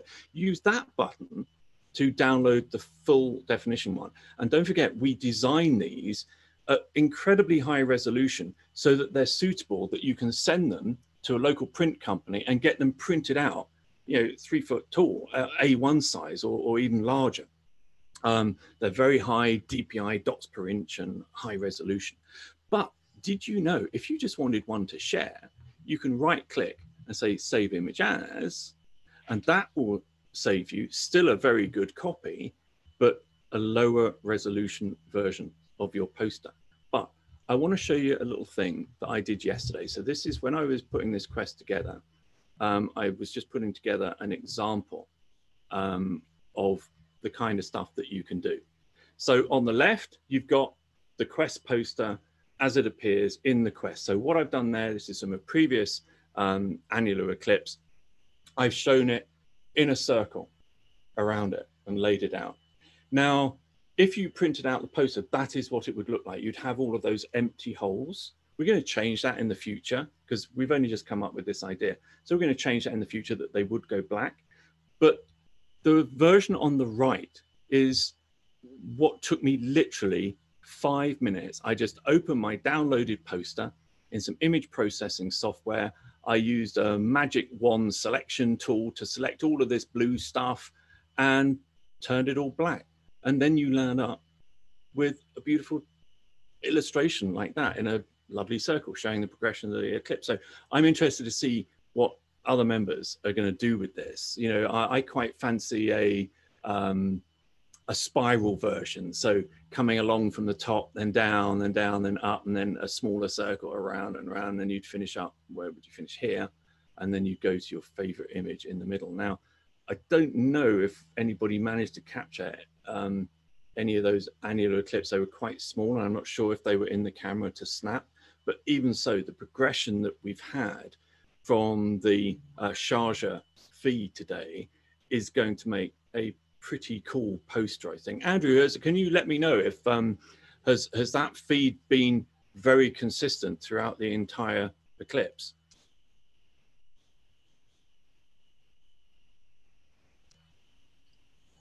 The Sharjah one.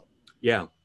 Yes, it has. Yeah. Right. So so everybody should have been able to collect a really nice progression of of images there. Now I think there were um, a, a, few before we came on air, and what I'll do is I'll I'll grab those and make those available uh, to members. Now, unfortunately, only astronomer members can upload images, but if you upload an image um, for a quest, and we've had this quite a bit on the collection quests um, if you upload an image, you can select a Slooh 1000 object to associate that uploaded image to, and then it will appear in your quest as being available in the quest. But um, I don't know, uh, is is that is that kind of poster thing and giving you the kind of option to lay things out yourself? Is that a, a thumbs up, a thumbs down? Is, is it something you want to see more of? Yeah, I I, I think from from my point of view, it, it means that you can put your own character on it. You can almost design you know, the layout of your own post. And don't forget, you can do some post editing, download it, and you can edit it, change the text, whatever you like. So anyway, right, uh, where are we? Um, let's take a look at the live feeds. Oh, look, um, the Sharjah is still going. I think they are. Eclipse finished for them. Probably, uh, what was that, 20 minutes ago, 25 minutes ago, something like that.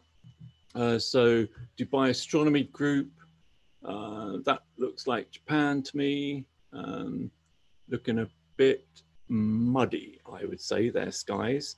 Either somebody smeared the telescope lens or, it's quite cloudy, one of the two. Um, that's not one to uh, snap. So, so we haven't had we haven't had our India feed because in Sirsa, um, in fact, uh, you know, that was a feed that we were really relying on there, but they have had a lot of cloud there, which is not, I don't think, uncommon for this time of year. Um, but we've also seen, we've so we've had great feeds at the moment. We did have them from the International Astronomy Center right at the beginning as well. They're in Abu Dhabi. Um, they've done us some great feeds for some of the lunar eclipses that we've done. Um, but the Sharjah Academic uh, Academy of Astronomy, Space Science and Technology at the University of Sharjah, they've really given us that terrific feed um, all the way through, which is quite cool. Malaysia, Andrew, you said that we did have Malaysia online as well at one point, did we? Yeah, I've swapped the feed from IAC and um, SAST uh, and taken those off, uh, and Malaysia is now on Malaysia tab. Well, let's hop over and take a quick look.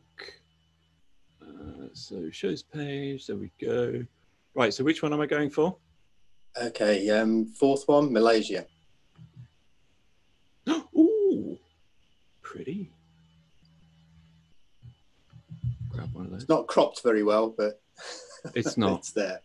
It's there. It's still seeing. So here we can see. So if I um, if I pull that back up again, actually, um, so Malaysia, if your geography is as bad as mine, uh, Malaysia is down here um, in the Far East, and you can see that they are they're right off to the edge of the penumbral eclipse. So the penumbral shadow is everything that's in blue there. In fact, we've got this. Um, in fact, I think the better way of showing this is actually so all of this is actually in the quest. Um, so you can have a good reminder about this later on um, but this is going to be the easiest way of me showing it to you. We'll take a look at that animation because it, it kind of might make sense now. Now that we've seen, you know, what happened in the feeds from the Middle East, what happened in the feeds uh, that we saw in India at one point and um, and Taiwan, and now Malaysia. so there was our little diagram explaining the three types of shadow that the moon's cast. And the moon casts these shadows all the time, with the exception of there's one moment, there's one event where the moon does not cast those shadows. I'll leave you to think about that. Um, I can hear the, the, the, the cogs turning. Um, but it's only when the Earth passes into those shadows that we actually see an eclipse. Now, every single object in the solar system casts shadows like this. They cast an umbra and penumbral shadow, um, and in fact, an antumbra. Um, but they can get a, a, lot smaller. So if you can imagine, we saw um, eclipse of Mercury um, recently. Now, that is the same kind of thing. It's like an annular eclipse. It's just the annulus is really, really big, and Mercury is a tiny, tiny little dot. But basically, we're in the antumbra shadow of Mercury when we're doing that. It's just incredibly large and incredibly diffuse. Um, but all objects cast this. We see it on Jupiter. So Jupiter casts a shadow. And what we can see when we look at the live um, feeds of Jupiter is we get eclipse events. So there's all sorts of events that you can get with the four largest moons of, of Jupiter. So you can get a transit when the actual moon, we see it move across the face of the planet. We can see a shadow transit, which is where the shadow cast by the moon is falling on Jupiter's surface and going across. Before opposition, the shadow goes in front of the moon. After opposition, it's around the other way because the sun's coming from the other way. But behind what we see is an occultation. So an occultation is when one of the moons goes behind the actual planet's disk, disappears in view. But we also get eclipses of those moons when the moons pass into the shadow cast by Jupiter. Now, the only time you don't see those is at opposition when the sunlight is hitting Jupiter direct and occultation and eclipse actually occurs roughly the same time. So anyway, all um, all objects cast these shadows. Earth, of course, casts an umbral and penumbral shadow. That's why we get a penumbral lunar eclipse. So when we get a full eclipse, uh, a total eclipse of the moon uh, is the umbral shadow. But this is what I wanted to just hop down to, this uh, animation once again. So there we go. So just a reminder, that big gray circle, that's the moon's penumbral shadow um, crossing the planet of the Earth as we've seen over the last couple of hours. And if you look carefully on this, let's, um, let me do that. If you look carefully on this, you can see that little dot. That is the ant umbral shadow. And it's rare that those these three things coincide and the distance from the moon to the earth is just right so that that antumbral shadow is the thing that touches earth's surface and that's what gives us the uh, annular eclipse so what we can see is earlier on uh, so when it starts again, we'll see the front edge of the penumbral shadow hit the Middle East. So bang, there it is. That's what we saw. And then the eclipse gets greater and greater and greater until we saw those five views when they were at greatest eclipse. There was that one from Oman um, that did have an annular eclipse, but we'll wait for it to come around again. And so they had uh, their annular eclipse in India. But here we go, bang. There we see just the bottom edge of that penumbral shadow reaching the far east. So if we then go back um, to the feed, sorry, loads of loads of screens. Back to here. I can't keep everything open at the same time, otherwise it. Um, and, and there we can see the result of that right? So this is, um, I suspect they've already gone through their greatest eclipse, but you can see the greatest eclipse here was really shallow in comparison to what we saw in the Middle East, which had, what did I say? Was it, it was over 80% obscured, wasn't it? I think 89% um, for some of those, um, because they were closer to that central path. So, oh, that's nice. I'll snap one of those. Thank you very much, Andrew. So, uh, right, we are, I think, winding up now because, um, you know, that's uh, the, the the moon's uh, shadow is going to kind of carry on moving off uh, in Malaysia. But have we got any questions either about the eclipse or about Slooh or I don't know the the price of fish? Anybody got any questions? Don't leave me hanging. You leave me hanging. It's embarrassing. It's embarrassing. Oh, I have a question for you. Yay! What's the next big event that we should be looking out for? Uh, next big event looking out for. Thanks for the notice on that one, Todd. Um, Todd, by the way, is uh, Slooh's uh, chief kind of. What's your title, Todd? I never know what it is. It's chief engineer. Uh, VP of engineering. VP, vice president engineering. Okay, thank you very much. Um, next big event. Well, there is a. What happens with um, eclipses is they come in pairs. This one, I think, has come in threes, um, and so you land up getting uh, a lunar eclipse two weeks away um, from a solar eclipse, and the the way the geometry has worked out on this one, and uh, somebody correct me, somebody put a really nasty face at me, kind of growl at me if I get this wrong. But we did have a penumbral ecl- lunar eclipse two weeks ago, but I think unusually there's a penumbral lunar eclipse in two weeks' time as well. So there's actually a lunar eclipse on either side of this solar eclipse. I am not seeing any growling faces. Um, so let's go ahead with that. Uh, later on in the year, eclipse wise, I think it's December 14th, maybe, we have a total solar eclipse. Now, this one uh, is very, very similar. The eclipses this year are kind of a duplicate of what we saw last year, strangely. So the path of this annular eclipse has been very similar to the one that we saw um, last year. Um, and also the, the it's another, the total eclipse in uh, December is another South American eclipse, which is going to be great for us because it's fairly close to the observatory. Uh, I know Daniela uh, has been in the webinar. Hi, Daniela, if you can see us. Um, she's our she's the um, astronomer, the resident astronomer at our observatory in Chile, um, and uh, hopefully she'll be able to provide us with some great live feeds of the total solar eclipse down there. But we've also got one uh, which I'm really excited about because I don't recall seeing one of these uh, before. So if we go to the shows tab, let's just have a look at what's coming up. Uh, now, as Mike Shaw's Nightscape, of course, big event. That's a big one. But this is the one. We have got shows in between this, but we haven't announced them yet. But this is one of the ones that I'm looking forward to most of all. This is the Great Conjunction.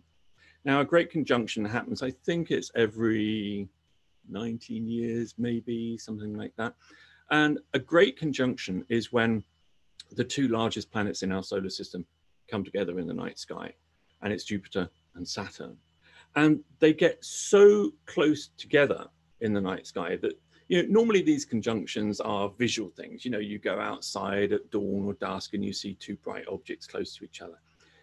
Jupiter and Saturn are going to be so close together that they're going to fit within our telescope fields of view. So in a single image, we're going to be able to see Jupiter and Saturn. And if we track them over a period of time, we'll actually see their different rates of motion because Jupiter normally travels faster than Saturn because Jupiter's closer to Earth and stuff like that. So I'm really looking forward to that because it's going to be an absolute visual feast to look at outside with a pair of binoculars or even a small telescope or just the naked eye. Uh, but through the Slooh telescopes, I'm really looking forward to seeing how that one turns out. To see those two mighty planets, two of my favorite objects actually in the night sky, you know, in the same telescope field of view. I will be snapping like mad during during that little event. So, uh, anything else? Anybody? God. Thank you, Paul. That's right, Todd. Anytime. Thank you so much for managing the the Zoom uh, stuff tonight. So, it would have been impossible for me to do that as well as everything else. So. Well, I have to uh, thank Emmanuel from our team as well. Oh yeah, yeah. Thank you very much, Emmanuel. Let's take a. Hey, I'm just going to flop over. Hey, Paul. I, yes, I want to mention one just one more time. You know, if if anybody out there is is interested in discussing Slooh for their classroom, um, you know, drop me a note, Russ at Slooh.com. So, love to uh, talk to you about that, how that might work for your classroom, and you know, we really can work with anyone from elementary, middle school, high school, and uh, and beyond. So college, or higher ed um, uh, education is really going really well. So check us out. Yeah, and uh, we've got you know uh, building a, a, really strong quest creation team now. So we've got John Boisbert, Boisbert, um, and also Dr. Mike Shaw as well. Um, he is on our quest creation team now, and uh, he showed me the outline of his first quest the other day, and I think you're going to enjoy that. And we've got plenty more planned for high school and um, and for college students. Um, and, and I'll tell you, you know, Slooh members, you know, normal Slooh members, we're all kind of normal Slooh members, but you're going to enjoy all of them, you know. And we were talking earlier, weren't we, about you know, kind of learning progression and getting into astronomy and learning, you know. What we're doing at the moment is we're getting a large variety of quests out there. Some which will take you a long time, you know, like the Messier and Caldwell collection quest, where you're collecting what is it in total? 219 objects. Um, you know it'll take you a, a, a, at least six months probably nine months or a year to collect those if you're making sure that you collect the very best images. But then you've got the one nighters you know quests that you can do in a single day or a single night. So we've got a broad range at the moment but what you'll slowly start to spot over the coming months is how they all form this lovely learning progression that'll take you right from the basics of Cosmic Explorer, where it just introduces you to this is the variety of objects you can see in the Slooh telescopes, you know, without going into very much depth. But then we've got things like John's recent, you know, Life and Death of Stars. Uh, we've got uh, the the quest that Mike Shaw is working on at the moment is about star clusters so you're going to go on an adventure to really understand and see the differences between open star clusters and globular star clusters and talking about star color and what that can tell you about their size and, and, and, and mass and age. Um, we've got a whole series of in the footsteps uh, quests where you can replicate, you know, discoveries down the ages. Those are the ones that I'm working on in the collection quests as well. Andrew, by the way, over there is uh, helping out with a huge, a lot of the posters that you see for the quest. You know, Andrew is is doing all the legwork with that and laying out these grids and you know that lovely, lovely diagram that you adapted for for this one.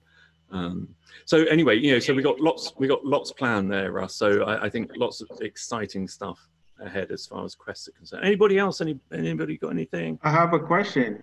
Yes, uh, how where do we have uh, get access to the Slooh uh, time lapse animation tool? Uh, it's only included in the quest, so it's not available outside of quest at the moment, Bonnie. But um, we are we are considering um, making it available outside the quest. But if if there's something specific that you want to use it for, then let me know because if anybody's got any ideas for quests uh, that you'd really like to try out, then let me know. Email me, paul at slooh.com, um, and we'll put something together, Bonnie. But it will hopefully be available as a kind of separate tool outside of a quest at some point in the future, but not at the moment. Uh, anybody else? Anybody else? Carol, Carol, you did have your hand. Oh, Divya, go on. Carol got a question. I just yeah. seeing her. Hey, Carol. Hi. Uh, may I introduce myself, Paul? Of course you can. Okay, I'm Carol Werter from South Africa. I'm a member of an amateur astro group, the Orion Observation Group. And I've been a Slooh member since 2017. And it's been an amazing experience. I'm doing some super astronomy, and I'm looking forward to more South Africans joining me on my adventures on Slooh. But here is my question quest. What happens once we press that claim your badge button? Do the Slooh top brass sit and giggle about our answers? I was just wondering because um, I don't think any of us can really say we know it all or that we remember it all. And especially uh, Russ, as a senior member. I don't mind being called a senior, and I'll be your cook anytime. um, we just don't remember stuff, and then oh, I hate it when that little button goes incorrect. I know. It's like so so that's my question. What happens? Do you do you? Do you... We we don't we don't um, we don't go in there and uh, for, for, in, for individual members and see how many times you got that question incorrect, Carol. No, uh, you'll wow. be pleased to hear. Otherwise, my reputation, what? the little reputation that I have, would be in absolute ruins uh, if that was the case. Uh, but we have what seen a few. A relief. Absolutely, it's so, a relief. yeah, we, we, did. We did consider at one point, um, know, you know, kind of almost freezing a quest if you got a question wrong but actually oh. going through and if you don't know the answer then the answer is normally in the quest and if it's not in the quest it's in a guide. So it's usually on the Slooh website where you can find the answer. So some people we know just click through because uh, they just want to go through the quest and get some gravity points. But the majority of us are doing this to learn stuff. And actually by showing you the other questions that are incorrect by finally getting to the correct um, answer you learn something through that process. Um, but one of the things that we are considering in the future, and this is really important, and, and in fact, all of all of the answers, um, all of the posters, everything is recorded in uh, the database because this is going to be very important uh, for teachers to be able to go into their classroom, their students' activities, to see how they did. They're basically going to, you know, press a button to say, here we go. I'm submitting my my project to you, my my quest results to you, so the teacher will be able to see that. Um, but you know, you can always go through and you know review the answers that you gave and have a look at your poster again and stuff like that. What I would stress is, you know, uh, and you'll see this in a lot of the quests that I've I've written recently. I, I'm trying to drum home challenge yourself on this. This is not about just getting some gravity points or claiming your badge. It's about learning something. For those collection quests, you know, let's just have a look at, um, in fact, there was a, oh, I know, I could show you, um, oh no, I can't show you that one. Um, I was, uh, the, the Messier collection quest. You can go through that and you can pick any old image taken with any of the telescopes. So you could maybe use a ring nebula, uh, you know, for M57 using one of the ultra wide field telescopes where the planetary nebula is so tiny in the image you can't see it.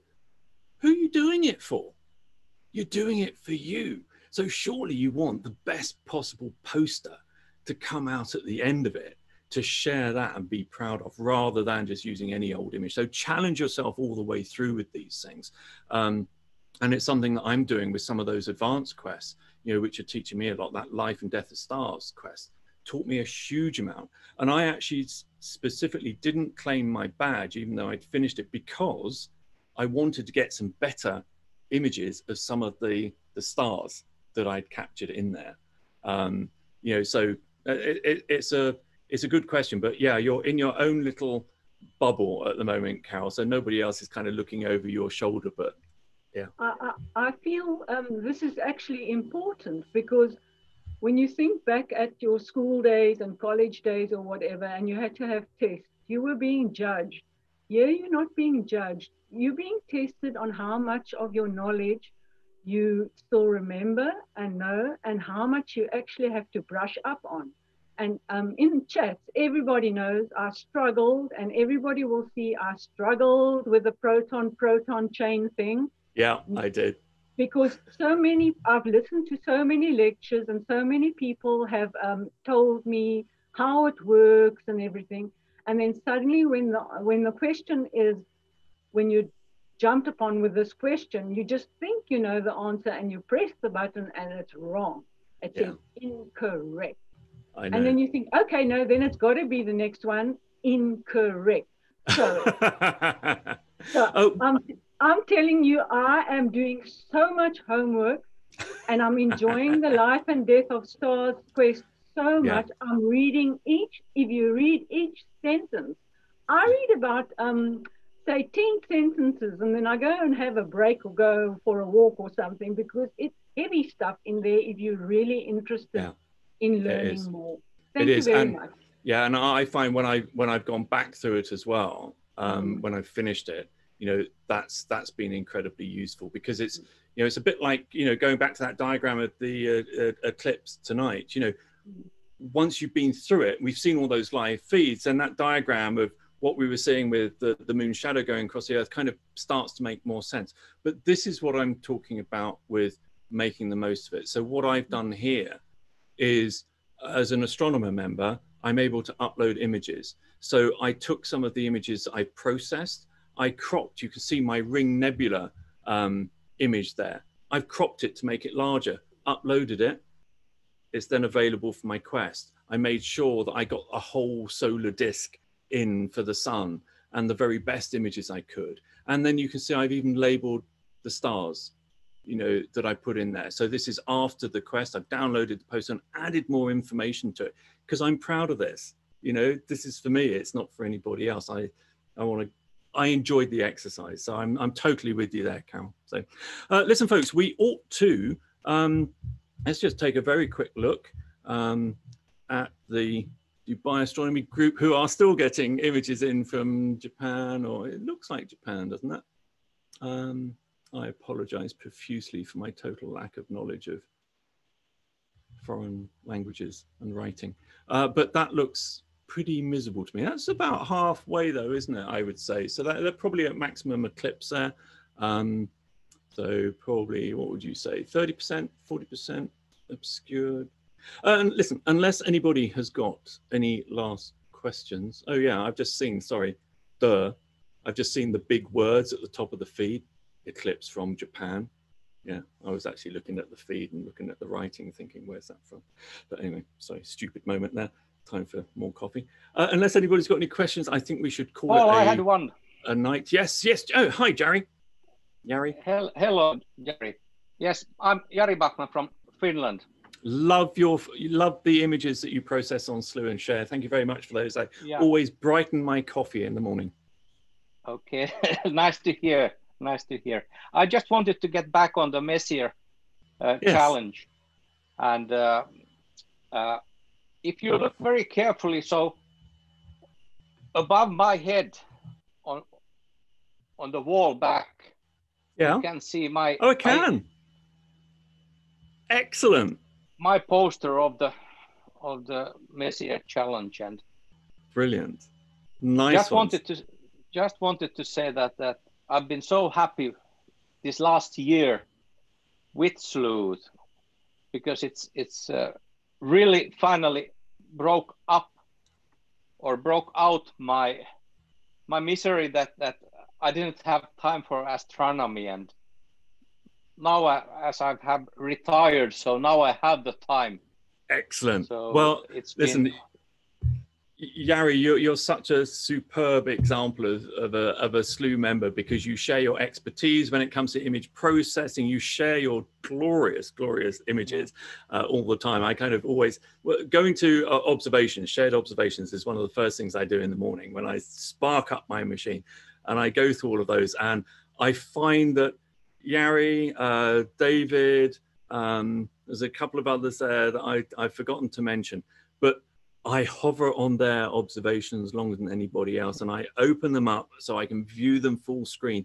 And I do what Carol's been, you know, prompting so many of us to do. Don't just look at it as a beautiful image, observe the image, try and work out what's going on in it. You know, is it a reflection nebula? Is it a dark nebula? What are the physical properties that are going on there? Start having a look at some of the spiral galaxies. Can you see nebulae in the spiral galaxy? Arms and things like this. You know, what detail can you see in Jupiter tonight that you couldn't see last night? You know, it's it's the art of observation, as as Carol puts it, and it's something I think all of us at Slooh can do. Look beyond sometimes the pretty picture, and just think to ourselves, what's going on there? You know, so that that's added that's added quite an interest for me in my use of Slooh, and especially seeing all of those images that members share. So, anyway.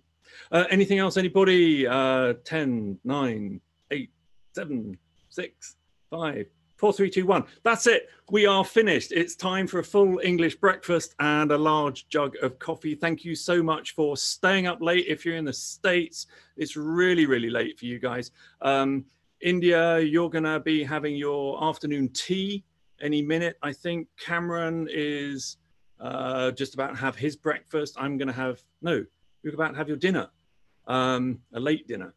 I'm about to have my late breakfast, go and feed the dog. Thankfully, he hasn't been moaning during this. Thank you so much for joining us. Thank you most of all for everybody who has put their head above the parapet, unmuted themselves, and asked some questions, because that's what we want these star parties to be. You lot talking to us and a big discussion, you know, around the campfire rather than just listening to me with a presentation and a bit of information here and there. So anyway, thank you very much, Andrew, for managing all of the feeds tonight. Thank you, Russ, for telling us about uh, Slooh, Slooh's online space camp and educational program. Thank you very much, Divya, for telling us about the Slooh Ambassador Club. Thank you very much, Todd and Emmanuel uh, on the east coast of the USA, you know, dealing with managing the Zoom webinar and stuff like that. We will see you next week. Mike Shaw's got a star party Tuesday, I believe. I think that's on. Uh, so we'll see you over there. Otherwise, we'll see you in the clubs, in chat, anywhere else. Share your best images, and if you do make a nice, cool poster in the uh, of the eclipse, and uh, do share that as well. Don't be afraid to share your quest posters. So that's all from me, uh, Russ, Andrew, Todd, Divya, Cameron, Milton, everybody else here. Thank you so much for joining us, and thanks for sticking out for the entire event. Bye for now.